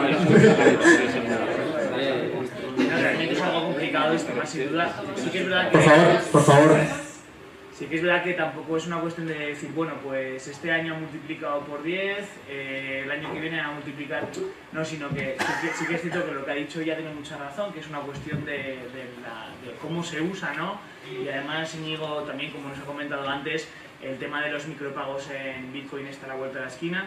Eh, entonces, si en el año eh, 2016 eh, se, se empezó en 300 dólares y acabó en 1000, hizo un por 3. Este año ha empezado en 1000 y ha acabado en 17.000, eh, es un por 10. Pues bueno, según los números, es, se supone que este año tendría que hacer un por 30 el año siguiente. Cosa que es una auténtica cantidad que es astronómica, ¿no? Pero bueno, mmm, desgraciadamente nadie tenemos aquí la bola, no se puede saber exactamente, pueden hacer muchas cosas, puede, puede haber algún tipo de crash de algún tipo que, que se reajuste al mercado y luego vuelva a activarse, pero bueno, o sea, eso es lo que es nuestra opinión. Pre ¿Precio? ¿Precio final? Ya, ya. Sí, sí, mójate, mójate. Pues bueno, pues, mójate. mira, pues como he dicho, si tenemos que fijarnos nosotros en los números, que somos muy de números, ¿eh? porque vivimos de números, pues tendríamos que decir que es una, es una barbaridad, pero que tendría que hacer un por 30, pues se va a calcular. ¿Cuánto es el 450.000. Eso es lo que dicen los números, pero es una barbaridad. ¿eh? 15 por 30. Yo, yo, creo, yo creo que sobre los 85.000, pero... Eso es personal, personal tuyo. Sí, pero sin basarme en los números, sin basarme en los números. ¿Y vosotros qué opináis? Ah. A ver, eh, yo a largo, a largo plazo, por supuesto, pero también, oye, no nos olvidemos que eh, a, a, el, el, Bitcoin ha, te, ha sufrido a, otra subida bestial, bueno, eh, y cayó un 80% por, en cuanto llegan noticias malas, como decía el chico que está aquí sentado, no sé si sigue por aquí, no, eh, el que no se, se, creía que era una burbuja. Yo no creo que sea una burbuja, pero sí creo... De los tulipanes. Eh, o sea, que, que, no son tulipanes, que el Bitcoin tiene un subyacente de verdad, como decía Íñigo antes, eh, que a largo plazo va a valer una fortuna, pero que a corto plazo seguramente le toca una corrección. O sea, si me preguntáis a mí, yo diría que es, muy, es probable... Por, eh, que, que, esa es otra cosa, o sea, en, las, en los ciclos económicos siempre sabemos que viene una que se acaba el ciclo, plum, y va a haber una corrección. Pero nunca sabemos cuánto, cuándo. Eh, en junio hubo una corrección bastante Sí, sí. Eh, sí. ¿Se, ¿Te atreves a decir un precio? Pues yo así, a nivel solvente ahora mismo, creo que, que no, no, pondría más de 10.000. ¿10.000? O sea, para abajo. Interesante. Sí, sí, la primera sí, sí, sí, sí, sí, sí. Menos mal que hay opiniones distintas. Usuarios. Aún así, por, por, dar, un, por dar una puntualización, Eh, lo que comentabas de la corrección esta que hubo de, de 800 a 200, ¿no? Supongo que te, te referías a esa, o de 1000 a, 100, bueno, de 1000 a 180, de redondeado hay bastante. Eh, había, yo creo que había menos descentralización realmente de, y, y- y menos seguridad, por llamarlo de alguna manera. Menos, menos conciencia blockchain, diría yo También, también. también. Ahora, eh, yo creo que para que haya algo así tiene que haber un escándalo mucho mayor y cada vez se va solidificando ¿no? un poco más esa estabilidad en, en ciertos parámetros o en ciertos puntos. Sí. Pero yo creo que hay ciertos puntos en los que no va, no va a descender tanto. 10.000 podría ser un- una de esas barreras, podría ser. Eh, pasamos por aquí. Portavoz de los usuarios. Los usuarios. Ponte por favor. Sí. Gracias. Nosotros como usuarios mm, no tenemos el precio exacto del Bitcoin. Más exacto que los que están iniciándose. Totalmente, totalmente. El precio del Bitcoin es uno. Siempre va a ser uno. Ha sido uno al principio, ha sido uno ahora, y será uno por los siglos de los siglos. Muy filosófico. Bueno, en realidad, eh, lo que... A no ser que le cambien el nombre. A no ser que le cambien el nombre. Se lo cambiarán, estoy seguro que se lo cambiarán. Yo Satoshi, yo Satoshi, Satoshi. Satoshi. No, no, no me refiero por eso, me refiero por Bitcoin, por Bicas. Vicas, puede ser, sí, puede ser. Es verdad, es uno más uno más uno Más uno, más uno. En realidad no, no es que el Bitcoin crezca, es que el, el fiat baja. el fiat baja. Yo, con una peseta, cuando había peseta, se compraban, nuestros abuelos se compraban un montón de cosas. Eh, puede que siga subiendo con respecto a... Yo creo que había que compararlo también cómo Bitcoin se va a eh, manejar con sus, eh, sus, sus primas. El, el Ether, cuánto valdrá con respecto al Ether, con otras criptomonedas, así. Eso es otro mundo aparte, es otra dimensión. Pero luego el, el precio exacto de que con respecto a esto... no. Bueno, yo como Joel y los desarrolladores nos han puesto de pie, pues yo tampoco lo voy a hacer. ¿eh? un usuario nunca puede ser menos que un, que un desarrollador. Roberto, eh, lo tenemos claro. Eh, y os lo digo como usuario que tengo una transacción retenida sin confirmar desde hace una semana, desde el 7 de diciembre. Aprovecha, aprovecha y critica ahora. Bitcoin es insostenible y no creemos que en el 2018 valga más de 100 dólares. más que nada, más que nada porque como sois los tres grupos muy previsibles, hemos dicho, vamos a la cuenta de los demás. No. Jesús, estás jodido, como eso se te quede ahí, Tío, te vas a 100 dólares por mala suerte, 7 días. Una transacción retenida. Llámalo Eso, eso es porque has racaneado con el fin. Esperaba, pero nada, esperaba, esperaba este comentario. No, yo simplemente soy un portavoz, El ¿eh? fin, el fin lo ha puesto de donde lo quiero sacar. No lo he puesto yo. Yo tenía posibilidad de elegir. Hasler, Hasler ha puesto el fin. A partir de hoy ha cancelado las extracciones o la retirada de dinero por esos problemas. Porque su proveedor no libera las transacciones. Y la mía en una semana. Eso sí, también somos muy previsores.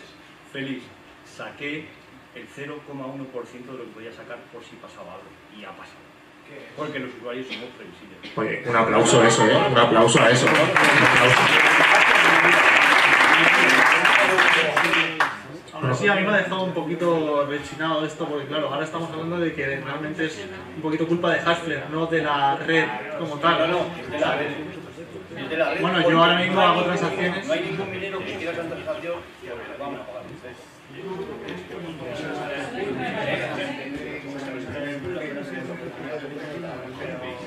Bueno, se ha alargado un poquito más, no, no da tiempo a hacer más preguntas. ¿No tenemos ni cinco minutos? Nada. A ver. Quería hacer... Bueno, sí. Tienes 30 segundos. Me gustaría, me gustaría, perdona, me gustaría que nos respondas la pregunta exacta. Esta pregunta me gustaría que nos respondas tú. El precio del Bitcoin. El precio. Sí, a tu criterio, porque yo creo que eh, sí. Sí, lo, lo primero es, aún no estamos en streaming, ¿no? Porque claro, es una broma, imagínate lo que pasa. Ay, es que no, no, no tengo ni idea. O sea, de verdad que no sabemos lo que es. Y yo lo que tengo, me dicen por aquí que aplicara los algoritmos R- RSA que os he dicho y que diera una cifra como que fuera mágica. Pero Como la también, de por 5 más o menos. también me niego a eso. Yo creo que va a estar y acorde un poco con las noticias que veamos. Es decir, si Lightning Network, por ejemplo, empieza a funcionar y, y empezamos a ver que las transacciones son más rápidas y demás, eso le va a dar valor también a la red, ¿no? Eso va a quitar ciertas cosas. Entonces, si creemos que es tecnología un poco y que es ese el subyacente que tiene, pues vamos a estar muy atentos también a todas las noticias relacionadas con los proyectos que hay. RSK, por ejemplo, parece una idea maravillosa y que puede ir haciendo más cosas. Todo eso le va a ir dando valor, ¿no? Que creo que es lo que nos tenemos que fijar, pero, pero es muy aventurado dar una cifra exacta. Aún así lo veo positivo, claro, yo soy muy fan, o sea, yo sí que creo en esta tecnología y demás, ¿no? Pero no sabría decirte exactamente el precio, o sea, no es imposible. Íñigo. Bueno, para los que quieran seguir un poquito la fiesta y algunos de aquí saben a lo que me refiero, eh, nos vamos a nos vamos a apuntar para cenar. Quien se quiera apuntar, se puede venir. Si tú eres muy de fiesta, sí. Bueno, se refiere a tomar leche con colacao. Eh, Diego, eh, te quería hacer una pregunta. ¿Por qué, por qué se decidió crear o hacer las bifurcaciones en vez de aprovechar el, el- nuevos protocolos de ampliación de los bloques? O sea, para, o sea, ¿por qué, por qué se...? pues o sea, yo, porque- sé, yo creo que es por especulación. Yo creo que es crear una moneda Pues, para... Porque mira, hay dos formas de ver las cosas y, y necesariamente, o sea, son muy parecidas. Mejorar la escalabilidad. Lo que pasa es que hay dos caminos distintos, ¿no? Unos piensan que es mejor por este camino y otros piensan que es mejor por otro, pero honestamente los dos quieren mejorar la escalabilidad. Eh, los bloques más grandes favorecía un poco más a los mineros, indudablemente, ¿sabes? Porque si hay cadenas laterales con otro tipo de cosas, pues los mineros crees que, que ahí pierden. O sea que la política entiéndaseme bien, también influye, ¿no? Por eso, cuanto más conozcas tú un poco un desarrollo y otro, podrás tener tu opinión, crearte tu criterio para optar por una o por otra en ese sentido, ¿no? Pero, pero que al final todas quieren ir al mismo objetivo por caminos distintos. Lo que pasa es que uno encontrará el mejor camino que otros que a lo mejor se quedan en el camino. Lo que pasa es que lo que ha generado al final es eh, un ataque contra Bitcoin muy fuerte por parte, de, sobre todo, de, de los, yo creo, de los mineros de Bitcoin. de Sí, Bitcoin. pero bueno, llevan sufriendo ataques sobre Bitcoin un montón de tiempo, ¿sabes? O sea, que no nos pilla de nuevas, por así decirlo, pero que es verdad que ha sido muy desagradable lo que hemos tenido que ver los usuarios. Y creo que aquí nos están echando, ¿no? Ah, venga, lo, debatís, lo debatís en el colacao si queréis. Una cosa, por favor, por favor, por favor, antes de que os disperséis, un segundo, una cosita. Eh, por favor, silencio, silencio, silencio, una cosa. ¿Podéis levantar la mano a los que os haya gustado esta dinámica? Sí, vale. ¿Asistiríais a un evento completo de una hora, hora y media con esta dinámica? ¿Sí? Vale, nada. Muchas gracias. Gracias a todos.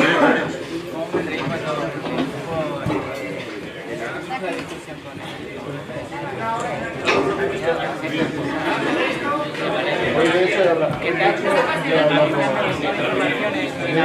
habla con la han tenido han para ir la se